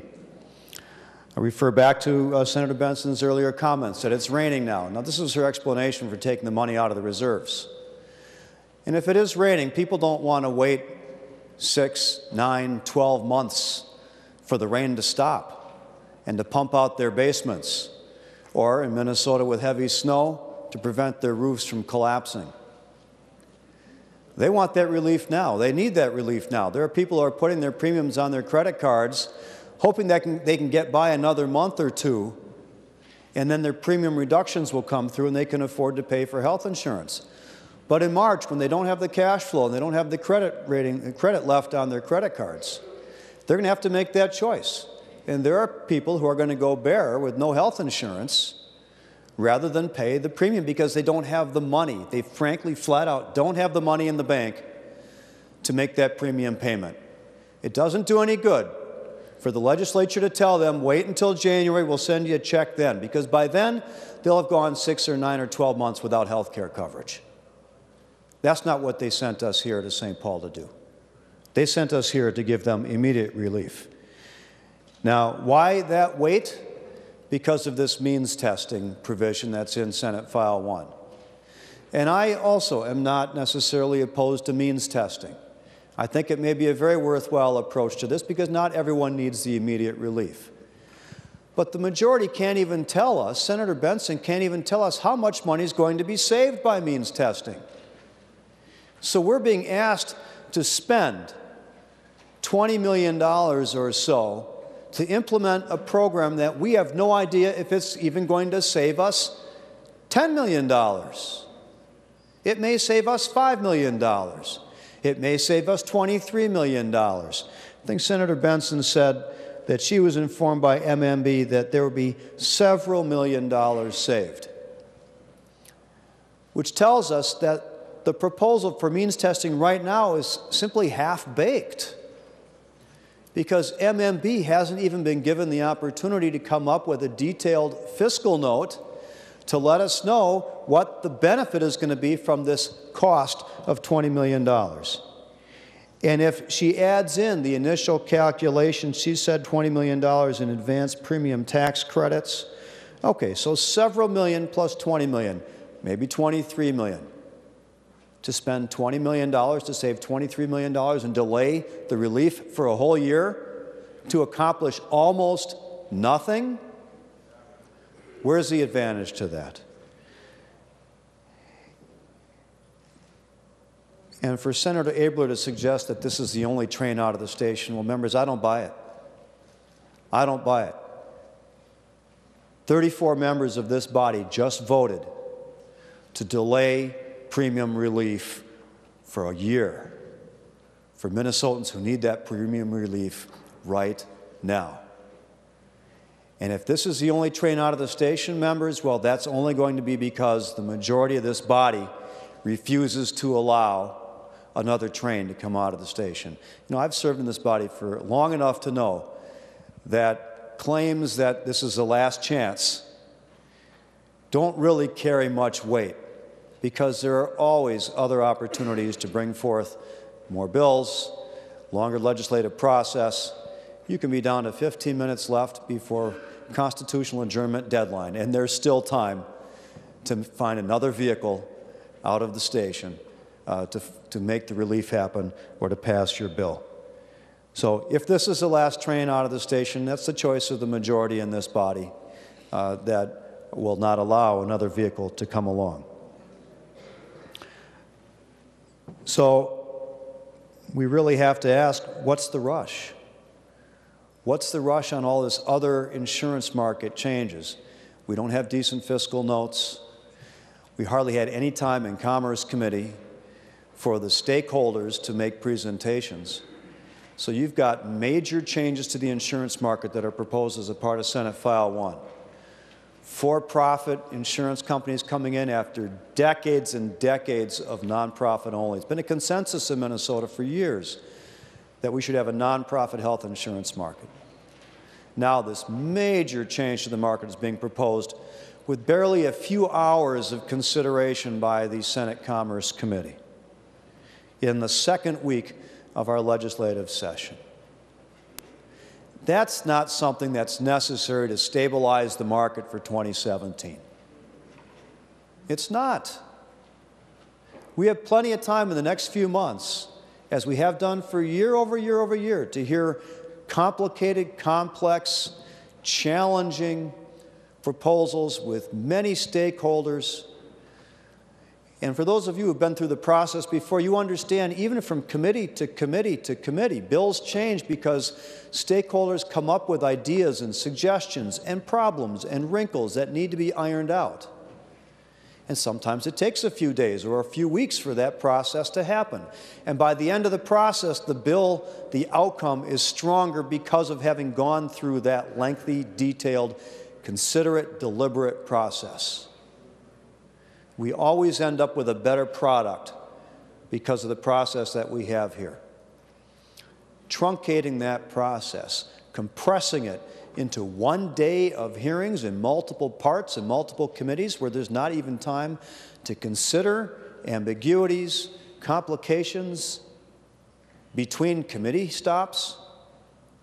It's a terrible way to make policy. And we can talk about the for-profit market. We can talk about the reinsurance issues. We can talk about all of the other changes that are contained in Article 2, many of which have merit and which deserve a full airing before uh, the Senate in all of its deliberate process, which aren't getting that airing, that consideration now. The people of Minnesota didn't send us here to act quickly without really thinking things through. Democracy is messy and slow, but there's a reason why. There's not a premium on efficiency in the democratic process. There's a premium on outcomes that will work as best we can forecast them to work, that have time for the input from the public, for the citizens, uh, to, to participate in the process. And that doesn't happen here on the Senate floor. That happens in the committee process. We couldn't even get testifiers from one side of the Capitol complex to the other side of the Capitol complex fast enough to be able to testify in the House and in the Senate because while the Senate was having rushed multiple hearings, the House was doing the same thing. So, how many of your constituents were prevented from participating in the legislative process who couldn't testify in their only opportunity in the committee hearings because they were on the other side of the complex testifying in front of the House. And do you really want to go home to your constituents and tell them that the first time, for those of you who are new to this body, the first time that you had a serious, complicated, complex, far reaching initiative before this body, that there simply wasn't time for your constituents to be heard on it? Really? Did you even have enough time to read the emails that you've gotten on this topic and respond to them? Or to make phone calls and reply to the calls that you've received? There just isn't enough time to deal with it, members, in this rushed process. And there's no need to do it. Because the only thing that's absolutely urgent is the premium relief. And Senate File 1 that we're about to take a vote on won't even provide that for another year. Will, uh, will Senator Jensen yield to a question? Uh, Senator Jensen has stepped off the floor. Uh, will Senator Utke yield to a question? Did I pronounce that properly? Senator, Senator Utke will Utke. yield. Senator Latz. Thank you. Uh, Madam President and uh, Senator Utke, uh, do your constituents in Park Rapids and other parts of your district, do they want premium relief now or in a year? Senator Utke. Sorry about that. Um, they, they're interested in premium relief and they're interested in premium reform. Thank you. Senator Latz? Well, Madam President, uh, Senator Utke, uh, do you think they could wait a couple of months for premium reform? Senator Utke? Madam President, um, you know, they've waited a number of years, and I guess they're, they're waiting for our reactions, and yes, they would. Uh, Senator Madam, Madam President, uh, uh, I would agree. They can wait a couple months for premium reform or for health care market reform. But they can't wait for the premium relief that they need right now if they don't have the money to pay for their insurance premiums. Uh, Madam President, will uh, Senator Eichhorn yield to a question? Senator Eichhorn will yield. Senator Latz? Thank you. Uh, Madam President, uh, Senator Eichhorn, uh, do your constituents in, in Grand Rapids and throughout the rest of your district, do they want to have the premium relief now, or do they want to finance the delay in this uh, out of their own pocket and get their premium relief in about a year? Senator Eichhorn? Madam President, uh, my, the, the constituents of my district do not want um, this without some reforms that come with it. It's very important to them as well. Otherwise, next year we're in this exact same spot. My constituents would also like to see reform along with the relief. Thank you. Senator Latz? So, Madam President, uh, Senator Eichhorn, you think your constituents uh, who don't have the money to pay health care premiums right now, don't have that extra $500 in their bank account, you think they'd rather wait for reforms somewhere down the road um, and, and go without health insurance until those reforms can have the impact you hope they'll have? Senator Eichhorn? Madam President, the constituents in my district would like to see reforms along with the relief. Senator Latz? And Madam President, uh, Senator Eichhorn, do you think that your constituents want to pay taxes on that premium relief as well? Senator Eichhorn. Madam President, again, my constituents would like to see the relief as well as the reforms. Senator Latz? Uh, Madam President, I appreciate the, uh, the clarity of that answer. Is, uh, uh, is, Sen- is Senator Jensen back on the floor now listening to the discussion? Yes, he is. Uh, will Senator Jensen yield for a question? Senator Jensen will yield. Senator Latz? Thank you. Senator Jensen, uh, you're a doctor, so you see patients um, who, many of whom I presume are covered by health insurance. Um, and uh, I would expect that many of them would struggle if they didn't have health insurance coverage, and some of them struggle even to pay the insurance premiums so they can come receive your services. Do you think that your constituents would prefer to have the financial relief of premium assistance uh, immediately, or would they prefer to wait a year and get a refund after they've paid out an additional $6,000 um, out of their bank accounts, if in fact they have it? Senator Jensen? Thank you, Senator Latz. I don't have to wonder what my patients think. I see 5,000 people every year, and they're telling me. And what they've said is, please, when you go down there, doc, no more band aids. You got to fix the problem. We've gone from one, one crisis to another. My patients have said, we know what undone looks like. That's what happened last session, and that's what happened from June to December. We want to see something done. This is a chance to get something done. Relief needs to be attached to reform, and reform needs to deal with access. And that's why this bill should be passed out of the Senate to the conference committee. But you're absolutely right. My patients want relief, they want reform, they'd like it in the best form possible, and the conference committee can probably deliver that. But your question's a good one. Madam President. Senator Latz? Um, uh, Senator Jensen, under the Senate File 1, the best information that we have from MMB is that they're not going to see any relief for about 12 months under this bill. Uh, and uh, I support changes in the health care system too. Um, I just don't see that it needs to be done today. It can be done in two weeks or in four weeks. We have a whole legislative session uh, to make that happen. Um, and uh, so I don't understand what the rush is, uh, Madam President and members. Um, there's plenty of time to have a good, thorough, deliberative process and allow our constituents to participate and allow all the stakeholders to participate uh, in this. Uh, without setting up a temporary, expensive bureaucracy without, as Senate File 1 will do, causing our constituents, when they do get relief, to have to pay taxes on it as income. So here, here, the, the ultimate irony, right? The proposal is to give them relief so they can pay for their health insurance, but they're going to have to pay their health insurance first, get relief later, and get less relief because it'll be taxable income under Senate File 1. Uh, Madam President, the bill before us is just not ready.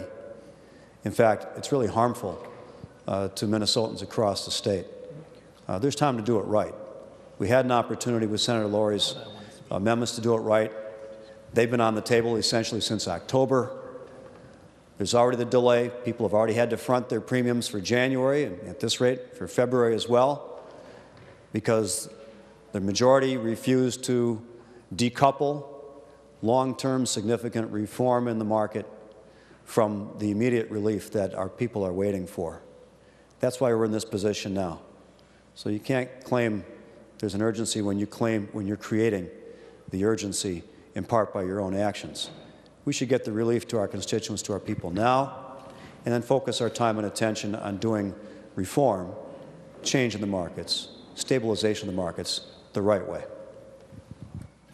And, and I do have a list of people who do want to speak, but Senator Jensen, if you have something, because you want to respond directly to uh, uh, the questions that um, Senator Latz was asking. Madam President, thank you. Senator Latz, I find it curious that you're so concerned about getting the relief now, when over the last seven months, you haven't done anything. We're talking about people, we're talking about families of four, which are 400% basically above the uh, federal poverty guideline. In, in the bill that we're talking about, we're basically talking about people who make over $100,000 a year is, is basically the crunch point. point, and there are some rate cliffs in this. Do I think that they want to have this relief right now and the heck with the, uh, the solution? I don't think so. I think they want us to fix this. We're not talking, we've got people from uh, families of four from 25,000 to 100,000. They're covered through MA, Medicare, and the exchange. I think people are sick and tired of band aids, and this bill addresses all three pieces of this three legged stool it's relief, it's reform, and it's access. And it's not perfect, but I'm not going to stand here and let better be the enemy of good and do nothing. And, and Senator Jensen, I didn't want to interrupt you, but you really do need to face the president when you speak. Thank you. Thank you. Madam President. Senator Latz. Uh, in response, Madam President, we don't even know what better looks like yet because we've only had a few hours of hearings on the proposals for better. And I understand Senator Jensen wants to, to get here and make an immediate impact and go back right away and say, yeah, we got the job done. Uh, but those of us who've been around the process for a while understand the process to do it right takes some time.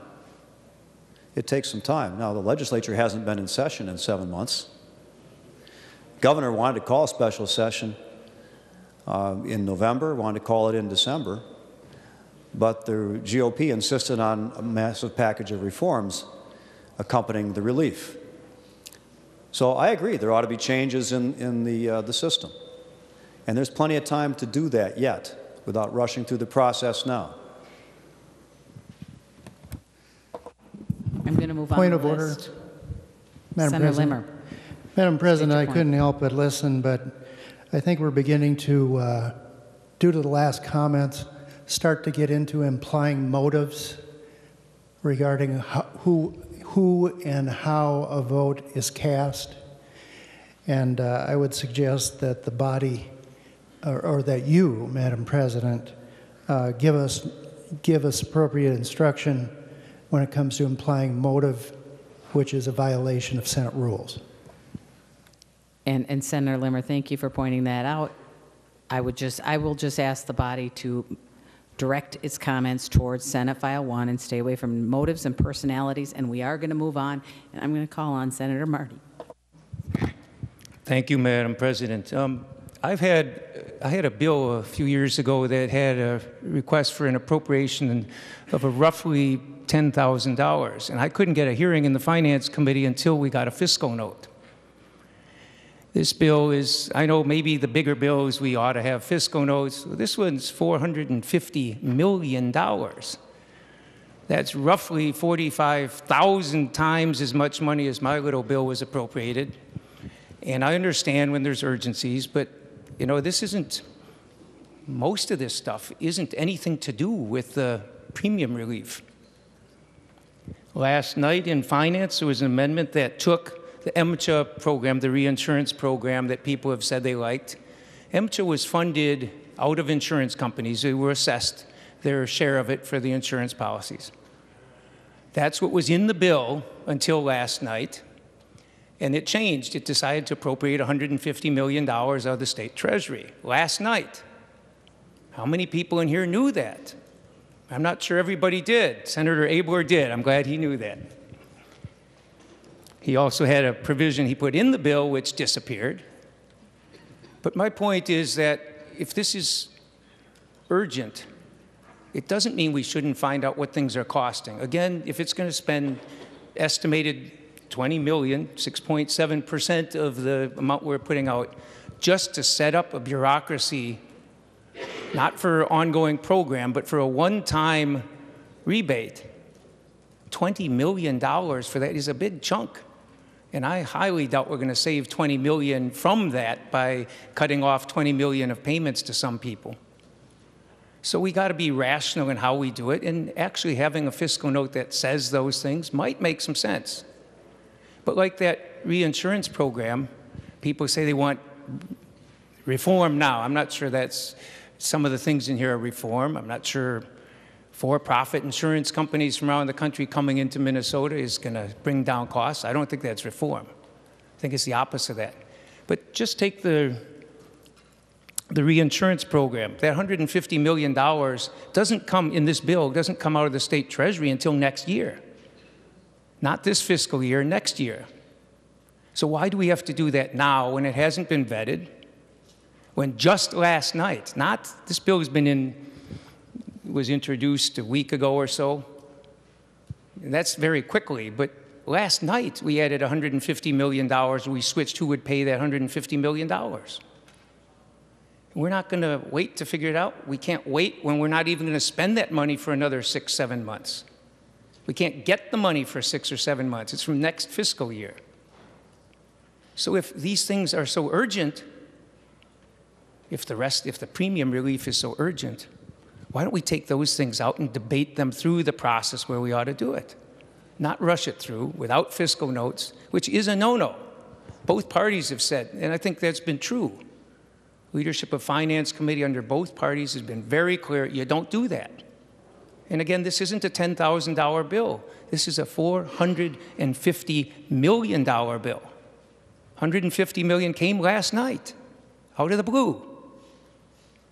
So if we want to get people something quickly, which is why we're racing this through the process, the one thing that everybody says we need to do quickly, the premium relief, isn't going to be quickly under this bill. Senator Lourey had an alternative that would have happened quickly, but this version will not happen quickly. So we're putting all this other stuff in there. And I understand some of you really want this other stuff. You want the for-profit insurance companies. You want the other stuff. That's okay. Let's debate that. Let's have the hearings, but let's not just put it into a bill. We're racing through the process with no fiscal notes so we can get relief out quickly, and then the practice we set up is going to take it a year to get out anyway. I urge you to vote against the bill and come back in a couple of days with a better version.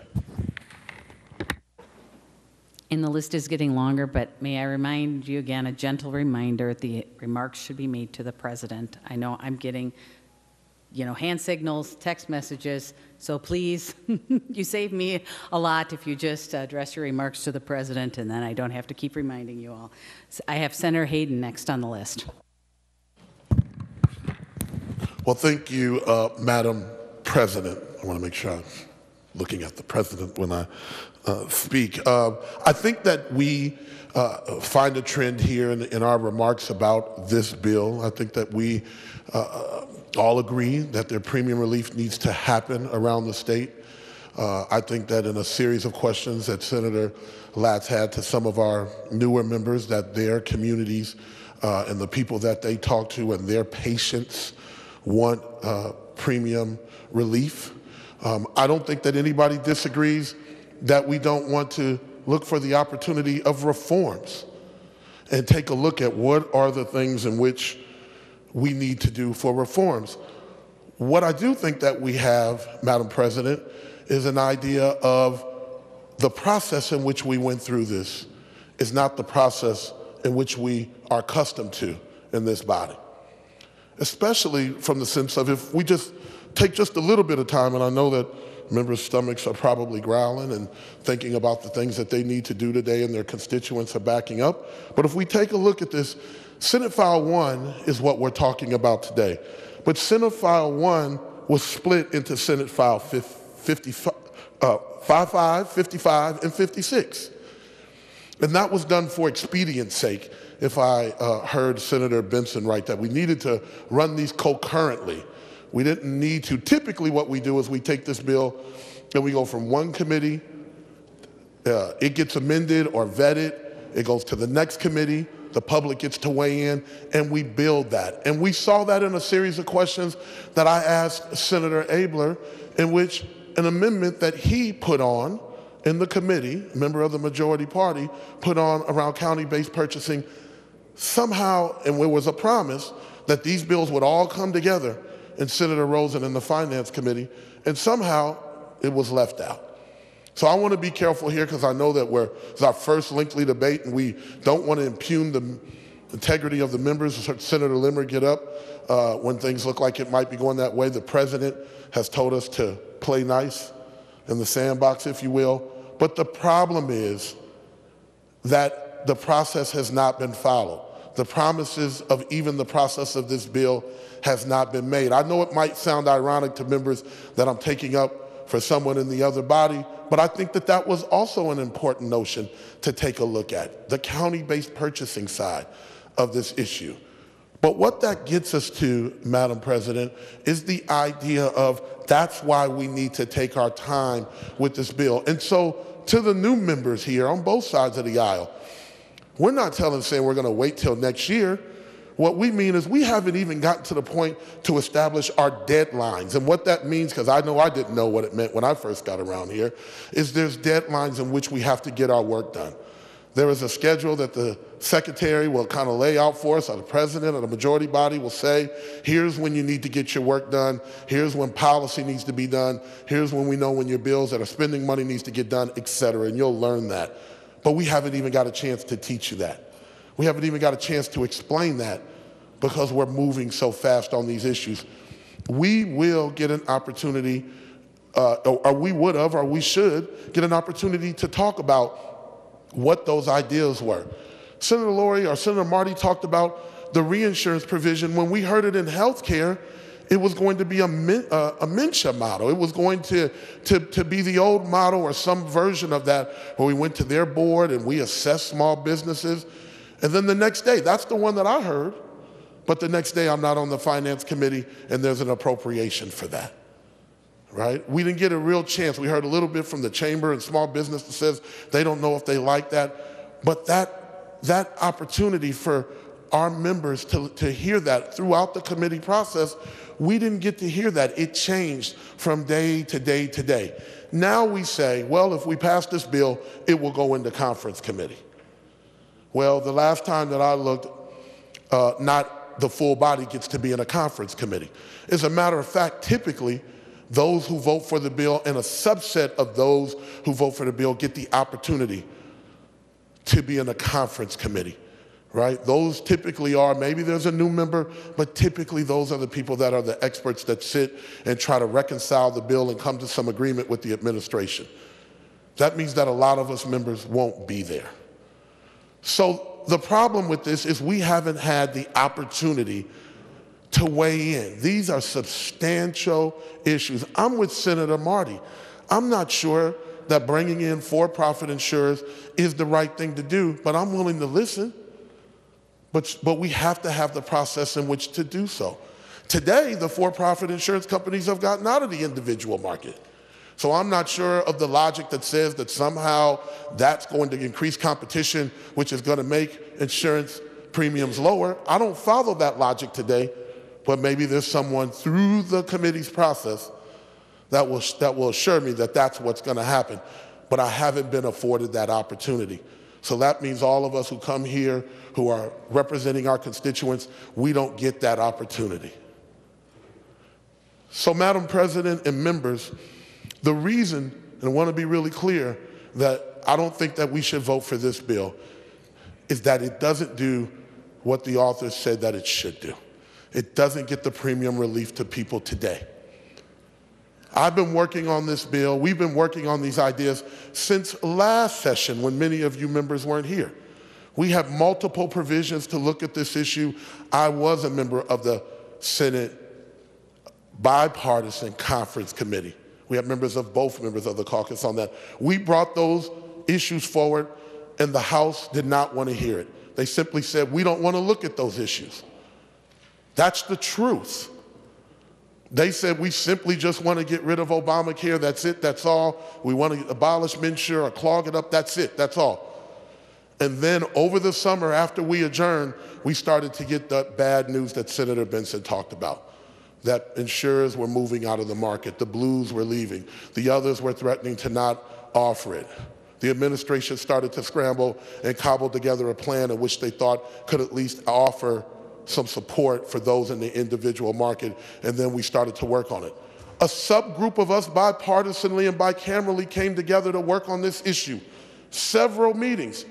The last time we were in the state office building, we had a kind of a, a, a person's, a gentle person's, women's, men's, if you will, agreement that we were going to move forward. And then the issue, it got attached to the other special session issues and never happened. So we had some agreement without necessarily these reforms and had somewhat agreed, and I don't want to put anything in anyone's mouth, but had agreed that we would deal with the reform issues as the session came forward. We had an agreement, a handshake, if you will without the handshake. So we kept moving this process. So I want to make sure the record knows that we have, for those members that are new, that have been working hard at their jobs, that have been seeing their patients and working in their insurance companies before they got to the legislature and wasn't paying attention every step of the way because that wasn't their job at the time, we have been working on those issues. We've consistently been working on those issues. And to no avail, we could not get this in front of this legislature until now. And now we're running a speedy path. And if we can't, so essentially what I'm hearing is that if we can't get these ideas that are unvetted, untested, these initiatives that we don't know what to do, that the administration is writing on the back of the envelope trying to figure out what it would cost. If we can't get those things done, then we don't want to give the premium relief to our patients because, by God, they sent us here to get things done and not to kick the can down the road. Well, I would suggest that we need to patch the roof, right? That's what we're using today. Right now, we need to stop the water from getting in. And then we need to figure out the underlying condition on if our gutters are leaking or if we need to build a dam or whatever other analogy, right? I was talking to Senator Champion. Storms will come, but can you stand the rain? That's a New Edition reference for those who you know it. But anyways, I like to have a, just a little bit of fun, Madam President. But here's the point. We should not vote for this bill. We should think about the work that we've done, the amendment that Senator Lourey has put forward. Let's get the relief to the folks today. Let's go through our thoughtful process. Let's figure out what are the kinds of issues, initiatives, and ideas that we have that will start to do, that will start to plan out for the future to ensure that the market, let's look at the unintended consequences. Senator Lourey has done a good job, and I know, and I trust in uh, Senator Benson is extremely thorough. We've served together many years now in this body. I know that we will get through, but we have to look at the unintended consequences. We have to figure out what the federal reimbursement mechanism is. We shouldn't send a letter to Washington hoping and wishing and praying that they let us off. We should ensure that that happens. And I don't know what happens these days when you send a letter to Washington. I don't think anybody does. But we should ensure that these things will happen so that we don't make things worse for next year. That would be the worst possible outcome and consequences. So, members, I want us to be thorough. I want us to be clear. I think that there is a level of patience that won't last until next year. I want us to pay attention. You got, we got our first taste of evening committees. I think we need to go every single evening. I know members are looking at me now. If we need to do so in order to figure this out. So once again, Madam President, addressing the President, uh, we should not vote uh, for this bill. We should allow the bodies and members of this committee to fully, of the community, of our stakeholders, to make sure that they, we can fully vet these proposals to ensure that they're the right thing to do. And furthermore, we should come up with other ideas. There was no way in which there was no opportunity for us to come up with other creative ideas that other members may have, that other community members may come to us that may also help that. So once again, I will, Madam President, uh, ask the members uh, to vote no. Uh, this is not the bill that's going to do what you think it's going to do. May I suggest that we go to third reading before um, we, we have a long list, and I would, um, if there's, if there are, there's no plans for further amendments, I would just uh, ask the secretary to, I don't see any objections, so I'll say that the secretary will give the bill the third reading. Senate File Number One, third reading. And now I will continue with my list. Um, uh, and she stepped out. Um, Senator Dibble. Uh, Thank you, Madam President. Uh, Madam President, uh, I think you are hearing from members in our caucus that we absolutely agree that we do need to take a look at some of the longer-term solutions. That is without a doubt. Uh, In fact, some of the ideas in the bill being offered by Senator Benson are quite similar to ideas that were offered uh, by uh, Democrats last year reinsurance, you know, uh, making sure that uh, uh, we are seeing if we could combine um, small and, and group business. Uh, we had a number of ideas last year. To Senator Hayden's point, um, we haven't had the opportunity to explore um, more and alternative creative ideas. Some are, are, are similar, like I said, some would be different, uh, and yet we have this process that's being, uh, frankly, abused. Uh, to the to the earlier point that Senator Latz made, uh, we had testifiers who couldn't even get from one hearing to the next or one side of the Capitol complex to the other because uh, we see this uh, steamroll uh, going through. Transparency and review and rate setting was an idea. Something like that is reflected in this bill.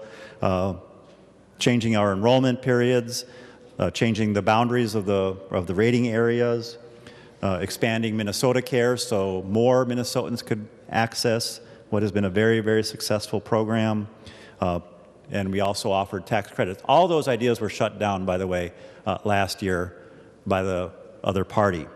Um, now we see them revived and, and being rammed through in a rush.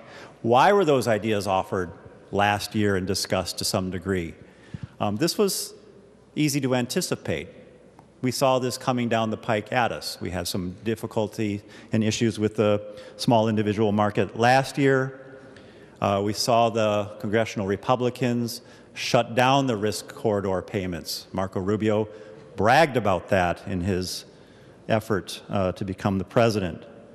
That was simply an effort to spread risk wider while companies in this initial three year startup phase were, were uh, grappling with this new market the individual small market. It was incorrectly characterized as a bailout and use of tax money. Neither of those statements were correct.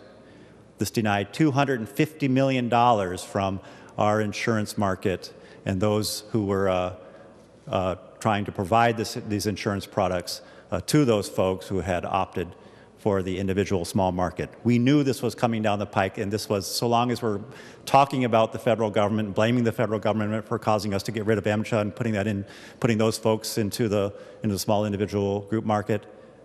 I submit that this problem was a creation of the zeal on the part of congressional Republicans to dismantle Obamacare, the Affordable Care Act, at all costs. And the cost is extremely high and we need to deliver the relief to my constituents today. They have the opportunity to make a decision about whether or not to opt for insurance so they can become covered again in February. Many of them have simply gone without. You heard from one of my constituents at the hearings. I've heard from dozens of them. These are hardworking individuals, small business owners, some with very, very active teenagers in high risk sports, and they're telling their teenagers, you don't get to do your sports this year because the risk is too great for you to get injured, and we're not going to have insurance this year. We can do this today and deliver that relief so they can make a decision versus telling them, oh, you're just going to have to wait a year. We have some other things to think about. We want to debate and discuss, and we're going to move this bill uh, in such a way that we have to create a whole new bureaucracy and figure out uh, all kinds of different things, and you're not going to even know what you get until 2018. So they're going to decide not to have insurance for a full year where they could make a decision the next few days to sign up for health care and be reinsured once again in February. It doesn't make any sense to me that we simply can't take the governor's plan, take the amendment that Senator Lourey proposed, get the relief into people's pockets immediately, and then work on all of these possibly and probably very good ideas, especially the ones that are similar to the ones we offered last year, and take the time to consider those. The two are not mutually exclusive. I don't understand why we can't do this for Minnesotans. Thank you, Madam President. Senator Dziedzic. Thank you, Madam President. Um, I'd like to thank all the members that have worked on this bill and on other um, relief ideas over the interim. I know Senator Lourey has spent a lot of time on it, Senator Hayden, and Senator Benson. Um, and I would uh, like to know Senator Benson would yield to a question. Senator Benson will yield. Senator Dziedzic. Um, thank you, Madam President. I'm not on any of the committees that have heard this, but I did uh, listen to some of the testimony on TV, and I understand several people here have mentioned that this premium assistant is taxable. I heard Commissioner Frans say that they believe it is taxable income. Um, Senator Benson, have you requested a revenue note, and do you know how much revenue this will raise? Senator Benson. Madam President, there is no revenue note for this provision. Um, it's my understanding that many de- disaster relief provisions are not taxable. Senator Dziedzic. Um, will Senator Benson yield for a follow-up question? She will yield. Senator Dziedzic. Um, thank you, Madam President. Can you tell me where this is defined and how this is defined as disaster relief assistance? Where is that in statute or in IRS code or any Senator case law? Benson. I Senator Benson, I'm apologize. I sorry. probably shouldn't have said disaster, although sometimes it feels like it, but it is a crisis, and I think it would fit under a definition of general welfare, which is the uh, definition that uh, the commissioner, when we were working on this in the interim, uh, was going to use as a provision. Senator Dziedzic. Uh, thank you, Madam President. Do you have any, again, any rulings from the IRS or any case law or any, any place in the bill or in statute that would say and show where this is, um, I forget the terminology used, welfare benefit assistance, as opposed to taxable income? Senator Benson. Madam President, I do not. Uh, moving on, Senator Little. Well, thank you, Madam President. I don't think I'll have any uh, issues following the rules of looking forward since I have really no one else to look at. Um, so, in the last few weeks that I've been here, I've been seeking advice from a lot of the senior members of the Senate here from both sides of the aisle, and I'm not going to name names. Um, but the overwhelming theme that I heard is that our biggest job here is to figure out what we can agree on and work on that.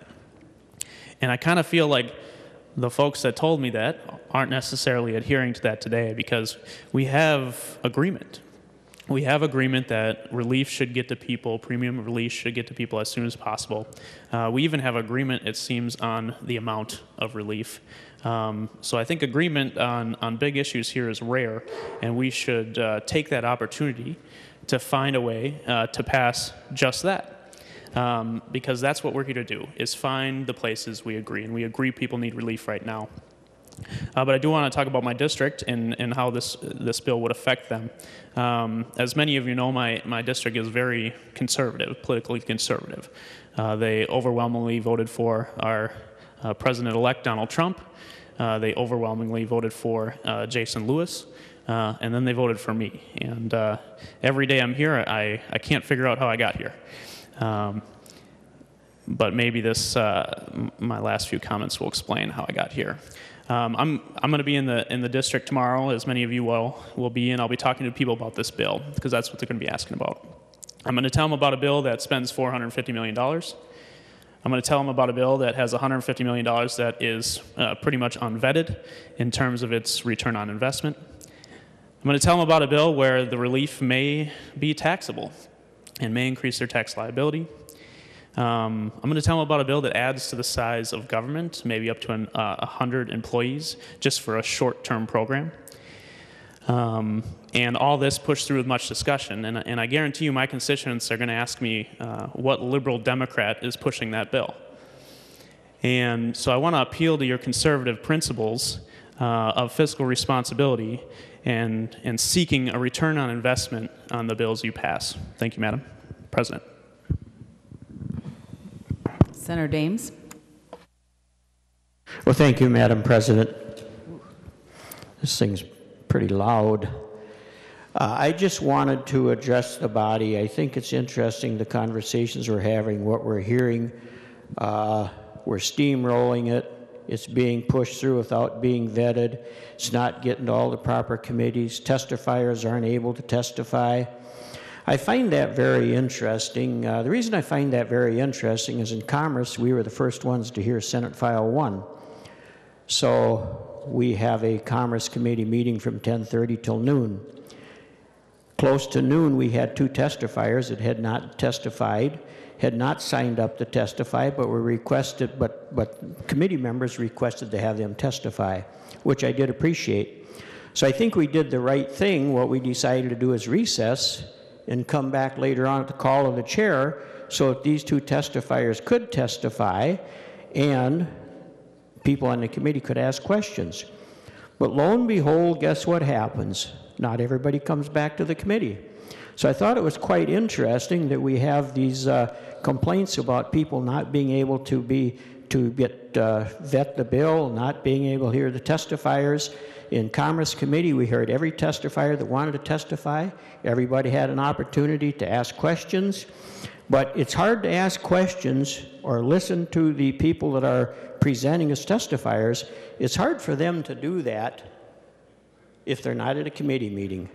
So if we're going to talk about vetting bills and being fair about being having bills heard, then I would appreciate that the people that want to do that show up at the meetings to get it done. Senator Laine.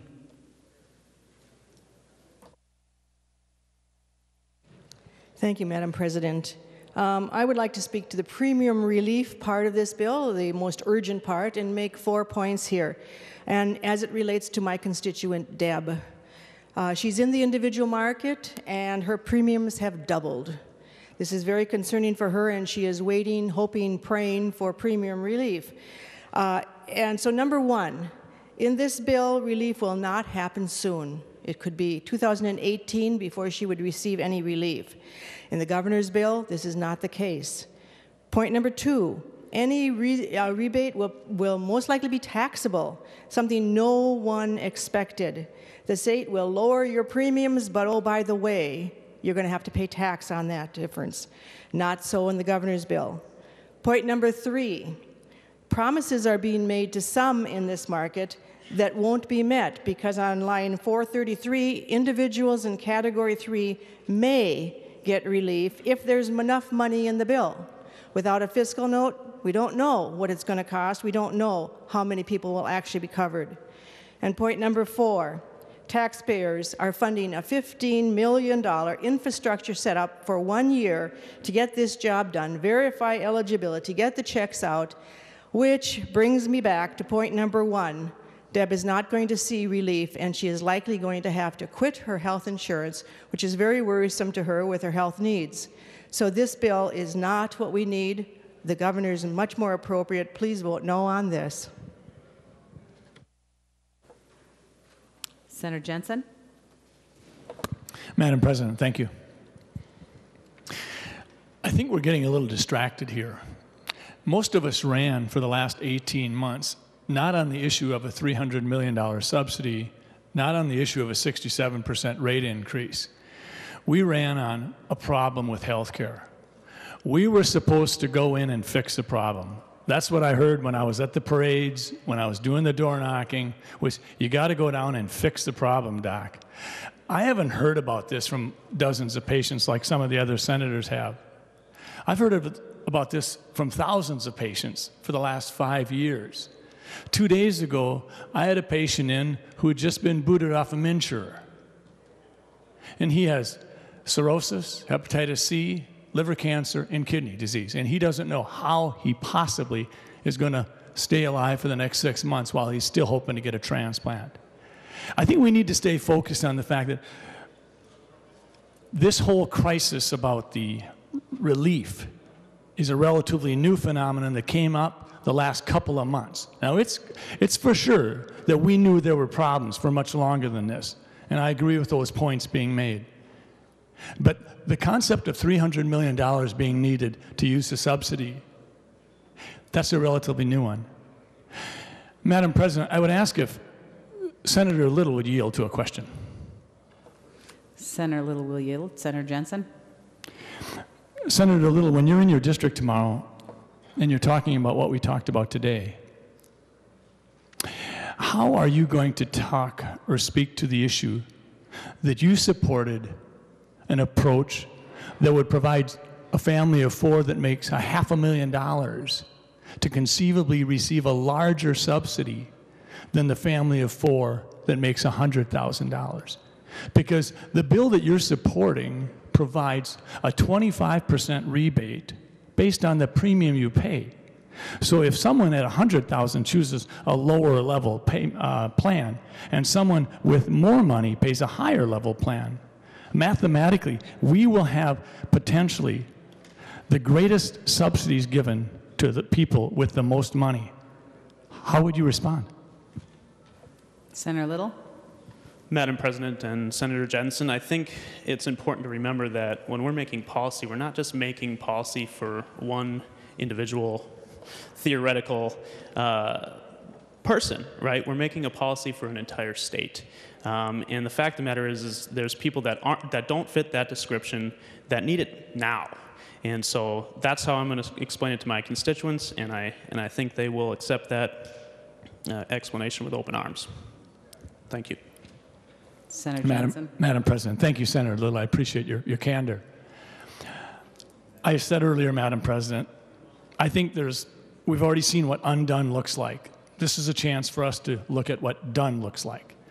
We're perched on a hill here in St. Paul, ready to make a decision, and we can start to put the building blocks in place. Yesterday's chaplain spoke about Ecclesiastes. Ecclesiastes says there's a time for every season. This is a time to build up. And to build up, we need to deal with relief, we need to deal with reform, we need to deal with access. This bill is not perfect, but this bill provides the ingredients for us to move forward and fix the problem and also get relief. I don't think the urgency is to specifically get checks into people's hands whether it's three months, six months, or nine months. If we don't elevate the problem to the level of our interest, and all we do is just throw money at it, that's just a band aid. And that's not what I'm hearing from my patients. Thank you, Madam President. Senator Westrom?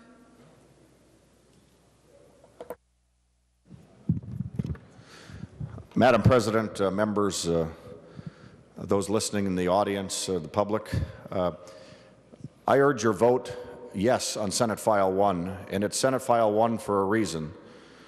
A reason because we've got a health care crisis across Minnesota, across the Twin Cities, but across rural Minnesota as well, where I come from. Eight counties in western Minnesota that have seen the same problem everyone else in the state has.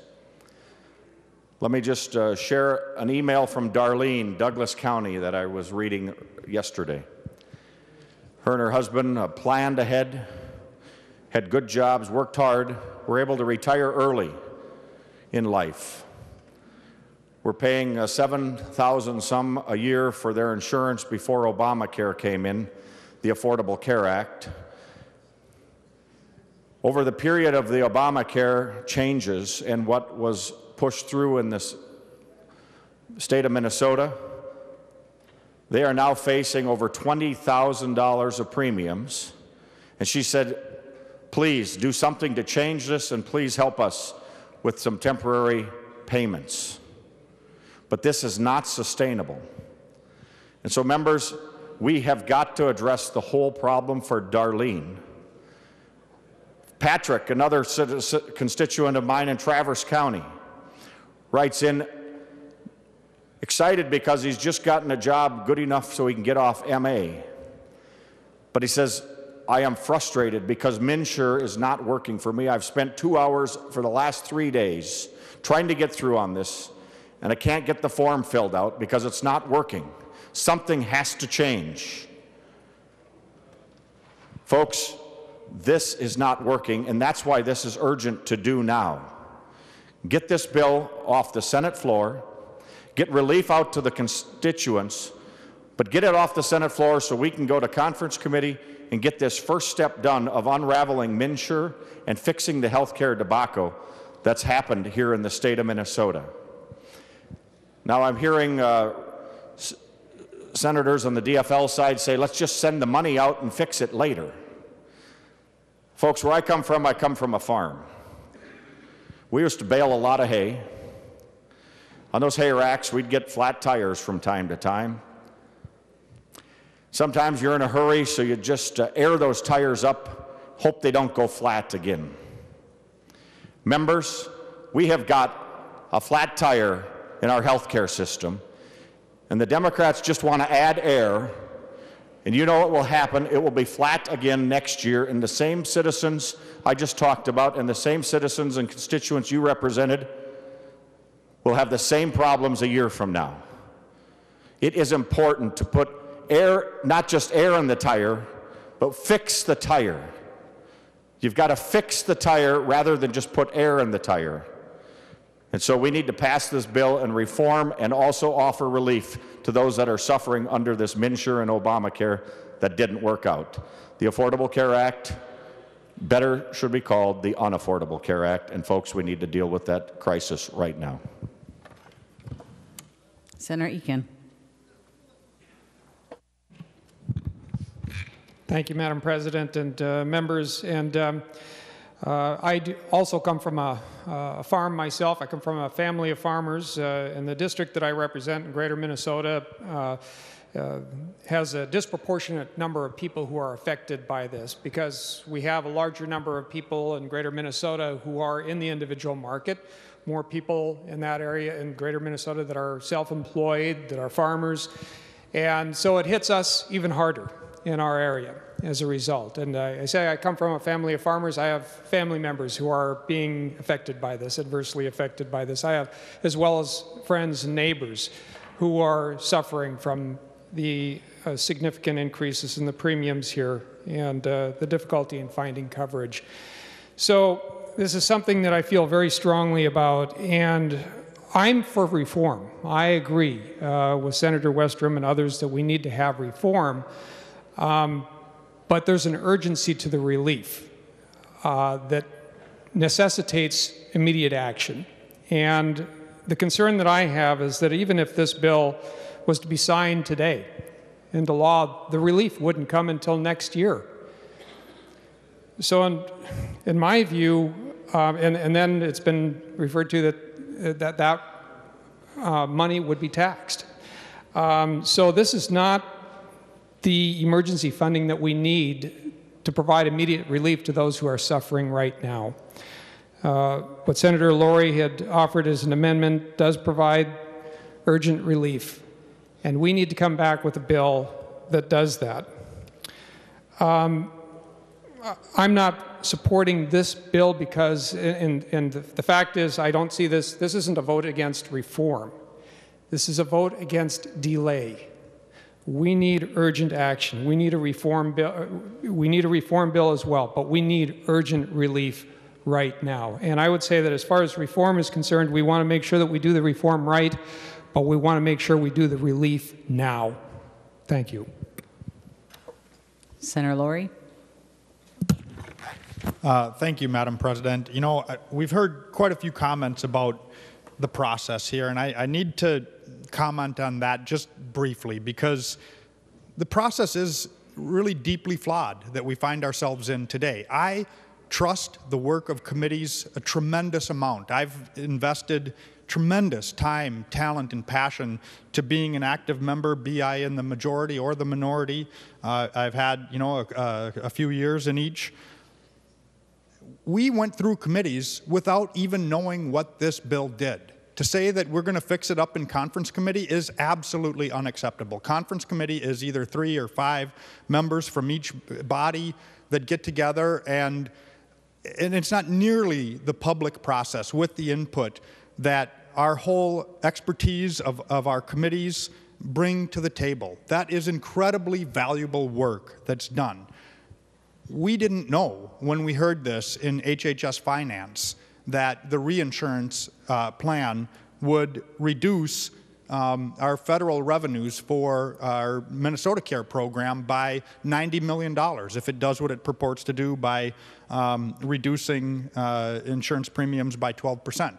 In reducing insurance premiums by 12% would be a good thing, but losing uh, over $90 million of federal money to support Minnesota Care is uh, really not a wise use of our state dollars. Now, we heard, um, and so what we need to do is make sure that we subsidize this market, stabilize it for 17 so that we have a better platform to move into 18 and fix it right and respect the work of our committees. We can do this quickly. I have every confidence that we can work in a bipartisan manner once we get this uh, stabilization package out the door for 2017. You know, um, well, and, and, I'll just say, you know, uh, my wife actually just texted me. She's been watching, and, and we, we still run a, a small farm, and, and farms have been mentioned several times, and putting up the hay and whatnot. And she said, you know, it's going to be 20 below uh, tonight up at our farm. Our cows can't wait for the hay. You know, I mean, we got to get the hay out to them and make sure that, that they're able to have what they need to maintain uh, through these tough times. You know, we can work on infrastructure and things like that, you know, once it, it gets up towards freezing a little bit at least, something like that, and move forward. But uh, we, people need this premium relief now so that they can make the right decisions for their people. Uh, for their families and themselves for the health care as they move forward. Now, several members were asked if their constituents um, were interested in relief now or interested in relief a year from now. And, and the answer was pretty consistent that, well, they want relief, but they're demanding that it be coupled with reforms. Well, you know, we have a letter I passed out from the um, uh, AARP, um, uh, uh, an organization that members are really familiar with. It represents over 10% of our population, 660,000 people. Um, that's a big deal. Well, they're saying, you know, the number one thing is how quickly we can get this relief out. And, and I should say, people in AARP are some of the most burdened because we have three rating factors remaining. Region, everybody's familiar with region, uh, where you live, it can be priced differently. Age is the second one, smoking um, uh, status is the third one, but the age rating allows for people um, in their early 60s to be charged three times the premiums of people uh, near their 20s. This is particularly burdensome for our elderly across Minnesota. And these folks are trying to make decisions today and they need help. And, um, and, and that really the timeliness is the number one factor for the relief. And so uh, Madam President, I'm going to vote against this bill that delays that relief and hope that we can get together again soon and start to work toward uh, the immediate fix and then work on a bipartisan basis, which I'm certain that we can do, to put some underlying reforms behind the individual and small group market to provide additional stability into the future years. Thank you, Madam President. Senator Tomassoni. Thank you, Madam President. You know, um, I've been listening to this debate pretty closely, and I've heard a real lot of stuff about hay for the cows, air for the tires, no water in the basement. You know, I have absolutely no idea what that has to do with health care. And people in my district are not coming up to me and saying, you know what? I don't have any hay for the cows, or I don't have any air for the tires, or I don't have water in my basement. They didn't, nobody mentioned that to me. You know what they said? They said my premiums are rising, my copays and my deductibles are going up. We need relief right now. I can't afford health insurance today if you guys don't give me some money back, you know, on my premiums and on my on my copays and on my deductibles. I didn't hear anything about cows, anything about air in the tire, anything about water in the basement, but I heard a real lot about premiums going up, and I heard a real lot about I can't afford it and I need relief now. And that's why we got to do relief now. Fixing the system now is not a good idea because who knows what the heck they're going to do out in Washington. And by the time something comes out of Washington, we put a fix in now that then we got to change in a year or two years. And if we don't give relief now, the people who are facing these huge premiums, who are facing these huge deductibles, are talking about not even getting insurance. And that's why we need relief right now. That's why this bill needs to be changed, and that's why this we have to give the relief up front and not wait for a year or two, and that's why reforms can wait until we find out exactly what we're dealing with from the federal level. Senator Kiffmeyer. Thank you, Madam President. Well, what I hear from my constituents is number one, the immediate relief, no question. However, they're absolutely terrified at the thought that they're going to be in the same spot next year. And so they say yes to immediate relief. That's re- but they're equally terrified at the thought that we would not make these reforms and thus be in the same situation next year. This is only a down payment on the future. But my goodness sakes, certainly these things, the reinsurance and other things, these are not new concepts or new ideas. So it is time, is an opportunity, and they're absolutely terrified at the thought that this would be a one-time issue and we'll be here again next year. We can't do that to these people again. This is the time to vote for this bill. This is the time to do it now. And members, I urge you to vote yes. Preparing to start wrap up, Senator Bakk. Well, uh, thank you, Madam President. Uh, I'm, I'm, troubled by a couple things. Uh, back in 2014, after managing more than a decade of deficits, and it was tough. Uh, and in that decade, we did all kinds of things in these odd numbered years when we came in here to try and build a new two year state budget. We borrowed from K 12 schools. We delayed tax refunds. We unallotted previous appropriations. We sold the tobacco settlement from the 90s. We had 20 years of payments coming in, about $80 million a year from the tobacco settlements of the 90s and we sold the revenue stream to get less than half the money up front immediately to try to keep the state's budget in balance. It was called securitization of the tobacco revenue. There was every kind of accounting gimmick that you could ever imagine and things you couldn't even imagine used to keep the state's budget in balance. And as a result of all of that, when we finally got the state's budget back in balance, the Senate, all by themselves, in the federal conformity bill in 2014, put in a provision that said in future November budget forecasts, if there is a surplus, a third of it is going to go to the state's budget reserve. So that we don't find ourselves in the next recession borrowing from our schools, delaying tax refunds, and all those things we had to do during that decade of deficit management in order to keep the state's budget in balance. And Senator Skoe, who chaired the tax committee, and I were pretty proud of that provision. And we learned soon that the bond houses out east were talking about it. Moody's and Fitch and Standard & Poor's were talking about what, what Minnesota had done to build a reserve to bridge future recessions. It was a historic thing that other states haven't done. And members, we are in one of the longest economic recoveries, recoveries in the history of this country since the 2009 recession. We are closer to the next recession than we are away from the last one. It will come again, and revenues will turn down. That is the whole point of the budget reserve. And what is the first vote this legislature is going to take? With a $1.4 billion surplus, you're going to steal $300 million from the budget reserve that is there for the real rainy day when revenues fall short and the budget forecast doesn't have enough money. The first vote, and especially you new members, the first vote you're going to take is to take money out of the state's budget reserve because apparently a $1.4 billion surplus is not enough to put your budget together.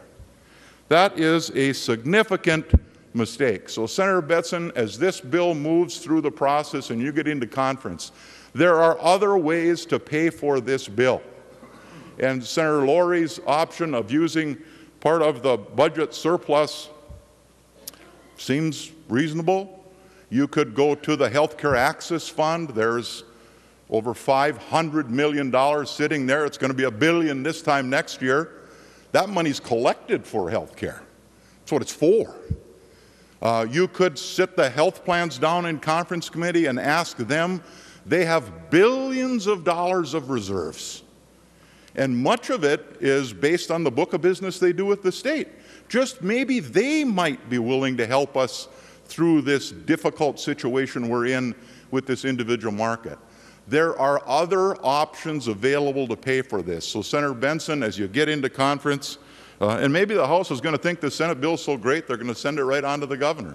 But I'm, I'm hoping that there's a conference committee so that uh, this issue especially can get resolved.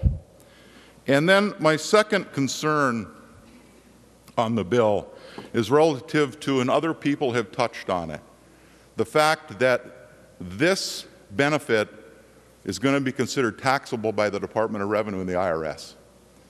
That is a significant problem. And in tax speak, and many of you know, uh, I've spent a long, long time on the tax committee here in the Senate and in the other body. We call that an income tax interaction in the tax committee. And so about 300 of the 300 million dollars that we're going to appropriate to pay this, about 100 million of it or more is going to come back to us. Either back to the federal government or back to the state through federal or state income taxes. When your constituents find out, when they finally get this money in 2018, that they, it is taxable income, they are not going to be very happy about that, I can tell you that. Now, so I guess I would like to know if Senator Chamberlain would yield for a question. Senator, Chamber, Senator Chamberlain will yield. Senator Bakk. Senator Chamberlain, at any point in the process here, did you uh, send a note to Senator Benson or one of the committees asking for the bill to be re-referred to the tax committee? Senator Chamberlain. Madam President, Senator Bakk, no. Senator Bakk. Madam President, Senator Chamberlain, just a little bit of advice. You can take it or not take it. But during my experience here, we had, when I chaired taxes, I think I had probably eight uh, spending committees, finance committees, we call them, and they all love to spend money. And oftentimes, when they're spending money on things like this, there is an impact on income taxes, or there is an impact on property taxes. And when that is the case in a bill, so this is just my advice, Senator Chamberlain, have your staff comb these bills going through finance and being included in the omnibus bills. And where there are interactions with tax policy, ask for those bills, send a letter to the committee chair, ask for those bills to be referred to the tax committee so that we all know what the real impacts are on state revenue and on our taxpayers and on our potential property taxes. So uh, that's just my request, uh, Senator Chamberlain. I think all tax chairs uh, long before me did that.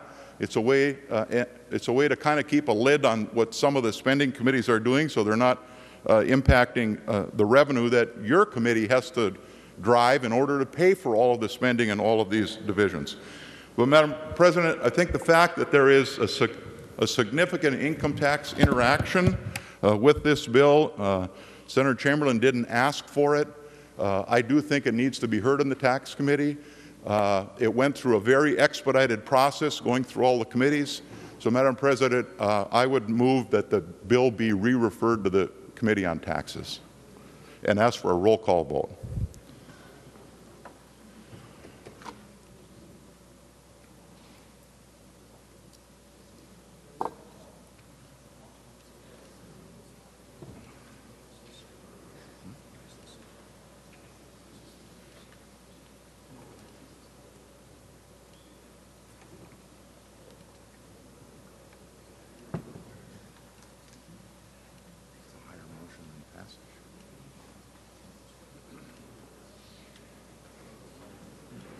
Motion to refer is number six. It's higher motion than, um, than passage.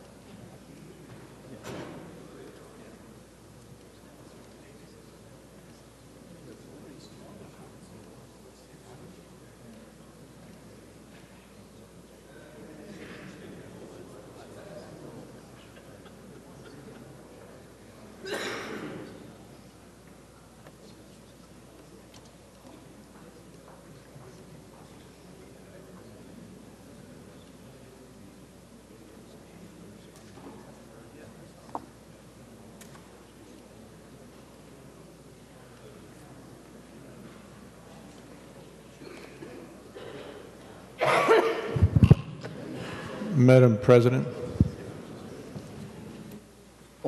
Mr. uh, Senator Chamberlain. is it appropriate uh, for advice?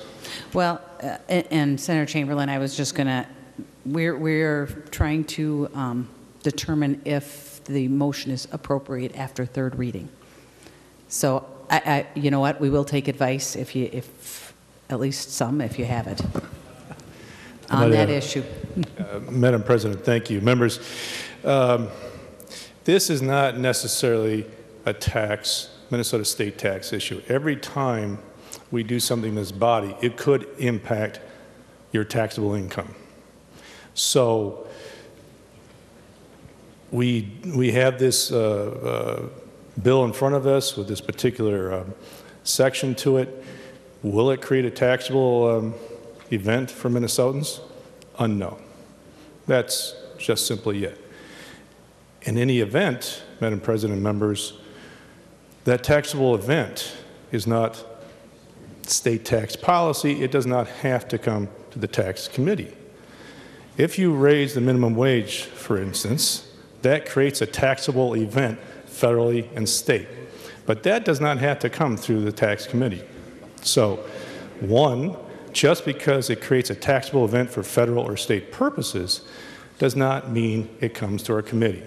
If your income goes up, if we get a raise, that's a taxable event. It changes your tax status. So just because it's a taxable event doesn't mean it comes to the tax committee. Secondly, um, it's whether or not it's it is a taxable event to the federal level, that is simply unknown. So I recommend that uh, this not be re-referred. We do not need to hear it in tax committee. Thank you. Further advice, Senator Champion? Thank you, Madam President.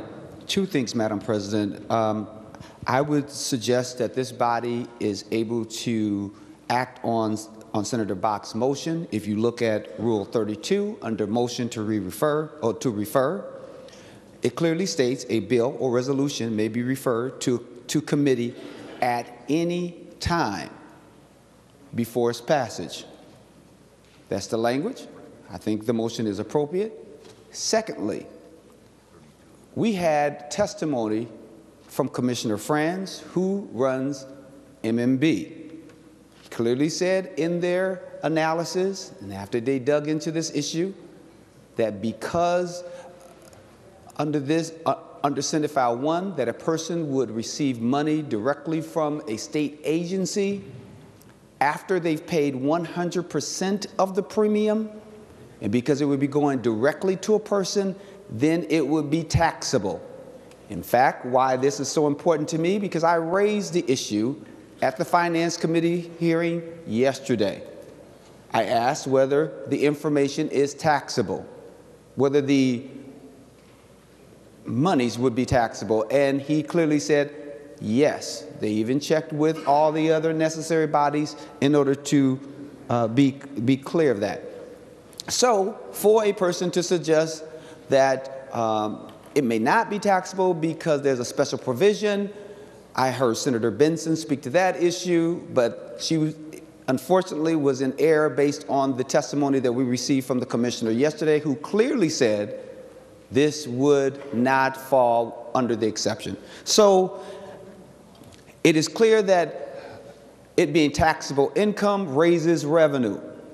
And because it raises revenue, it should be referred to the tax committee. So Senator Bakk, in his wisdom and also in his uh, ability to read, as we all are, under number 32, a, a, a, a motion to refer, if you want to see the page number, it's page 21. It may be referred at any time. Thank you so much, Madam President, for the opportunity to give you advice.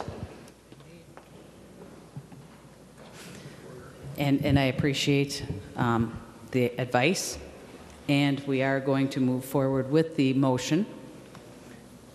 And um, so the debate, the motion is in front of us to re-refer to the tax committee. Senator Chamberlain?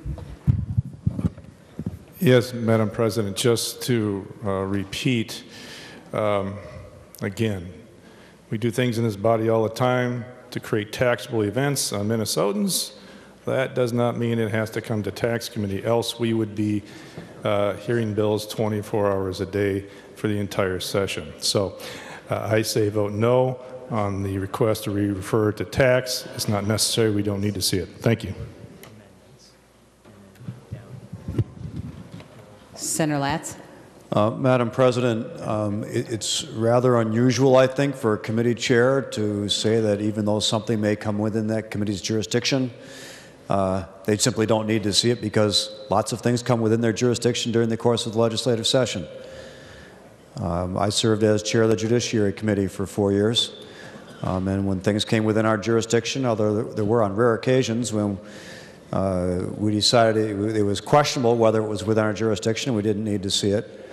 Uh, when something clearly does fall within the committee's jurisdiction, I think it's incumbent upon the process uh, for the uh, process to be served properly and for that matter to be considered by the tax committee, uh, whose members were sent there by the constituents for purposes of analyzing tax impact um, of bills that have tax implications. Uh, we should vote in favor of this motion.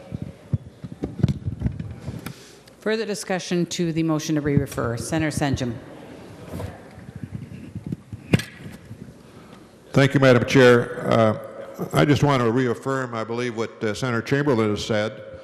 Uh, this is not new tax policy. It, it is existing tax policy.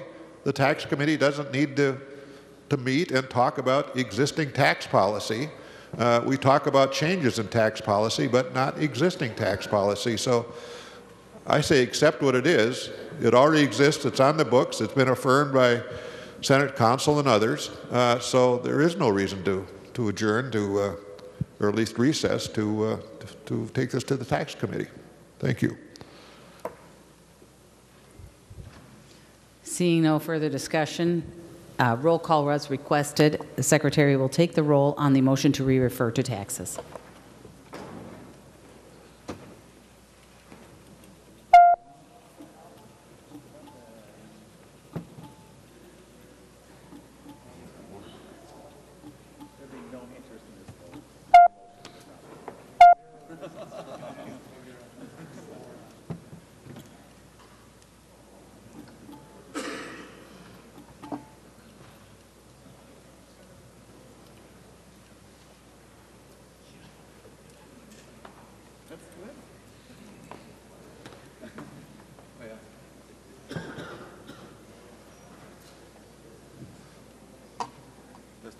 friend here and said, you should re-refer to taxes, and you did.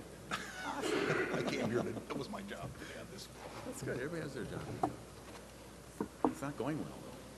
I said, oh, it's tight, hey, could be getting there. Guys will count to 34. Until someone's sick or can't be Is here. everybody here? Until someone can't be here. Yeah. All those voting, all those senators voting who've desired to vote, the secretary will close the roll. There being 32 ayes and 34 nays, the motion does not prevail. Continuing on with wrap-up, Senator Gazelka.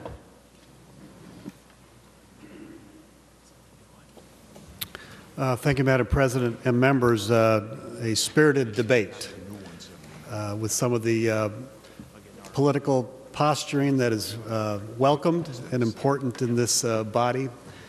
Uh, But in the end, I'm hoping that we all keep our eye on the ball here, Uh, that this is very, very important. I've heard, I haven't heard one person in here say that this isn't important and this isn't urgent. And so, as we look to do what we're trying to accomplish, I just want to reflect, reflect briefly on, on how we got here and why we are doing what we're doing. And just reflect back about six years about where Minnesota stood in the nation with how we delivered health care and health care insurance. We took care of the needy, we took care of those just above that level. If you were uninsurable, you could get insurance in Minnesota, and we had a, a vibrant market for the rest of us. And it worked really, really well.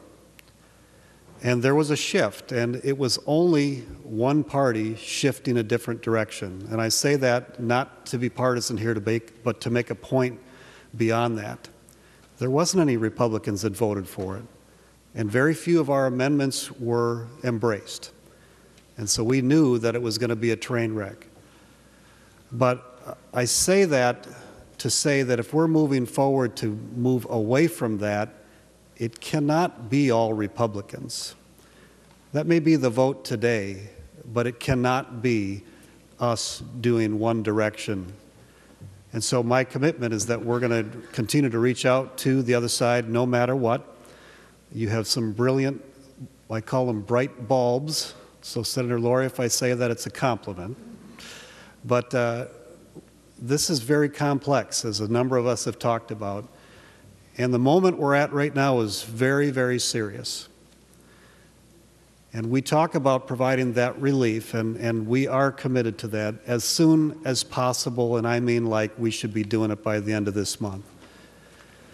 It is that premium relief, and we're going to figure that out. I cannot imagine that our government would take over a year to reimburse people when if we had a new tax, they'd want it ASAP. So I'm sorry, but I think they can do it. But we're going to have that conversation in conference committee. And if they make the case and they lay out the details and our conference committee comes to that place, then we'll just have to make a decision then. And we're going to look at each of the pieces that we put forth with the governor. And some people have asked, well, why just the, why not just do the money now? And I had a great analogy about a tornado and insurance, and then Senator Tomassoni went off and undercut me, so I decided I'll just leave that one alone. And I live next to a farm, if that helps. But, uh, but I want to be honest and say it was frustrating over the last four years when we, on my side of the aisle, presented many things that we thought could have made it better that were not adopted. And so there is a level of trust that we don't have that we want to have. And, and I have met with the governor a number of times, and I am building a relationship that we can have a handshake and say, I believe you about where we need to go. But part of that for me and for my side of the aisle is you have to show us that you're going to embrace at least some of our reforms if we really expect to do the heavy lift down the road. I don't, this is, you know, Senator Abeler rightly said we don't want to miss this opportunity because if we don't do this one, it's not the only train. Well, if you stop the first train, how are we going to get anywhere? And, and I expect us to be reforming this for a number of years. We've been talking about even pre-Obamacare that there's things we need to fix. And so we have been given that task. We're all going to be here four years. We have two doctors that came into our mix, and I'm, I'm thrilled with that because this is serious stuff. And I hope they meet and I hope they give us ideas about how to improve this. So I don't want to forget where we were and I don't want to forget how we get to the future. And in the end, some of it has got to be bipartisan. And so we're reaching out to you on the other side of the aisle. Embrace the fact that we are trying to move forward here as fast as we can. The last thing I'll say is we chose the committee process instead of doing it even faster because Senator Bakk and I both agreed we want to have hearings, we want to vet it out, and trying to balance that against the urgency of this situation because it is, all of us say it's urgent. And so as we move forward, uh, just know that this is, this is really the first step. And I hope that we have some other key steps this session and then expect more beyond that. Thank you. Senator Benson? Thank you, Madam President, for the privilege of closing out today. Um, kind of a high point for me. Senator Tomassoni spoke on my bill longer than I think he spoke on his own bill last year. So thank you, Senator Tomassoni. A um, couple more um, sort of metaphors to help Senator Tomassoni. A morphine shot while not addressing the underlying cancer is one that I've heard. Uh, Band aid solution, another one that I've heard for moving um, moving payments without some reform.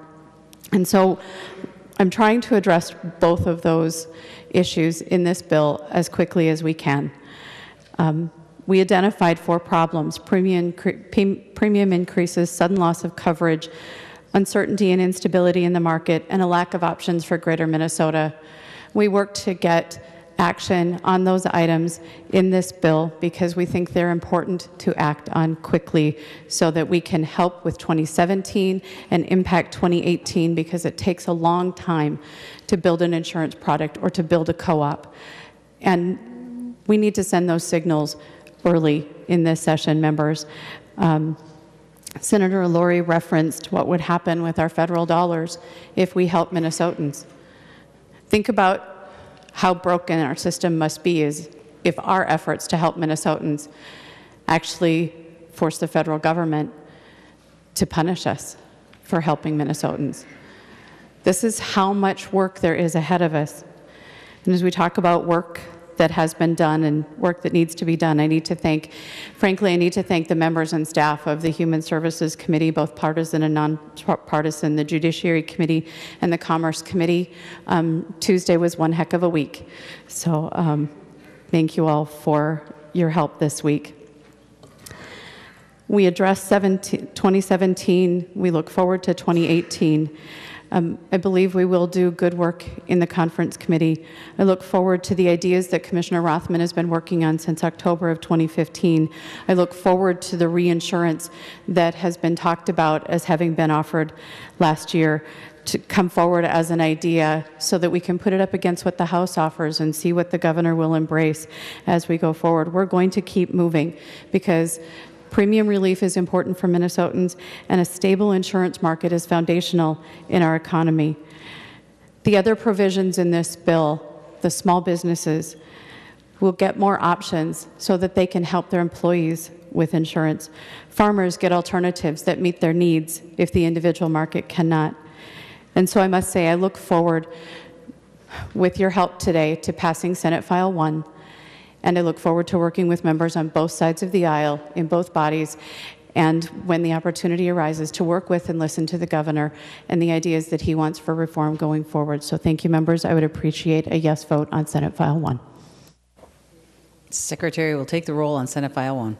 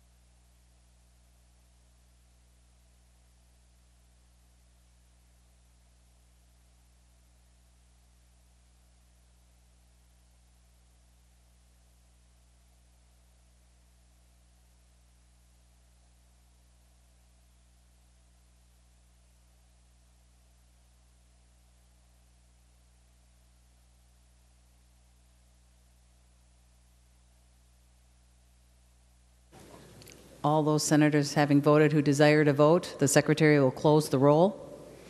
There being 35 ayes and 31 nays, the bill is passed and its title agreed to.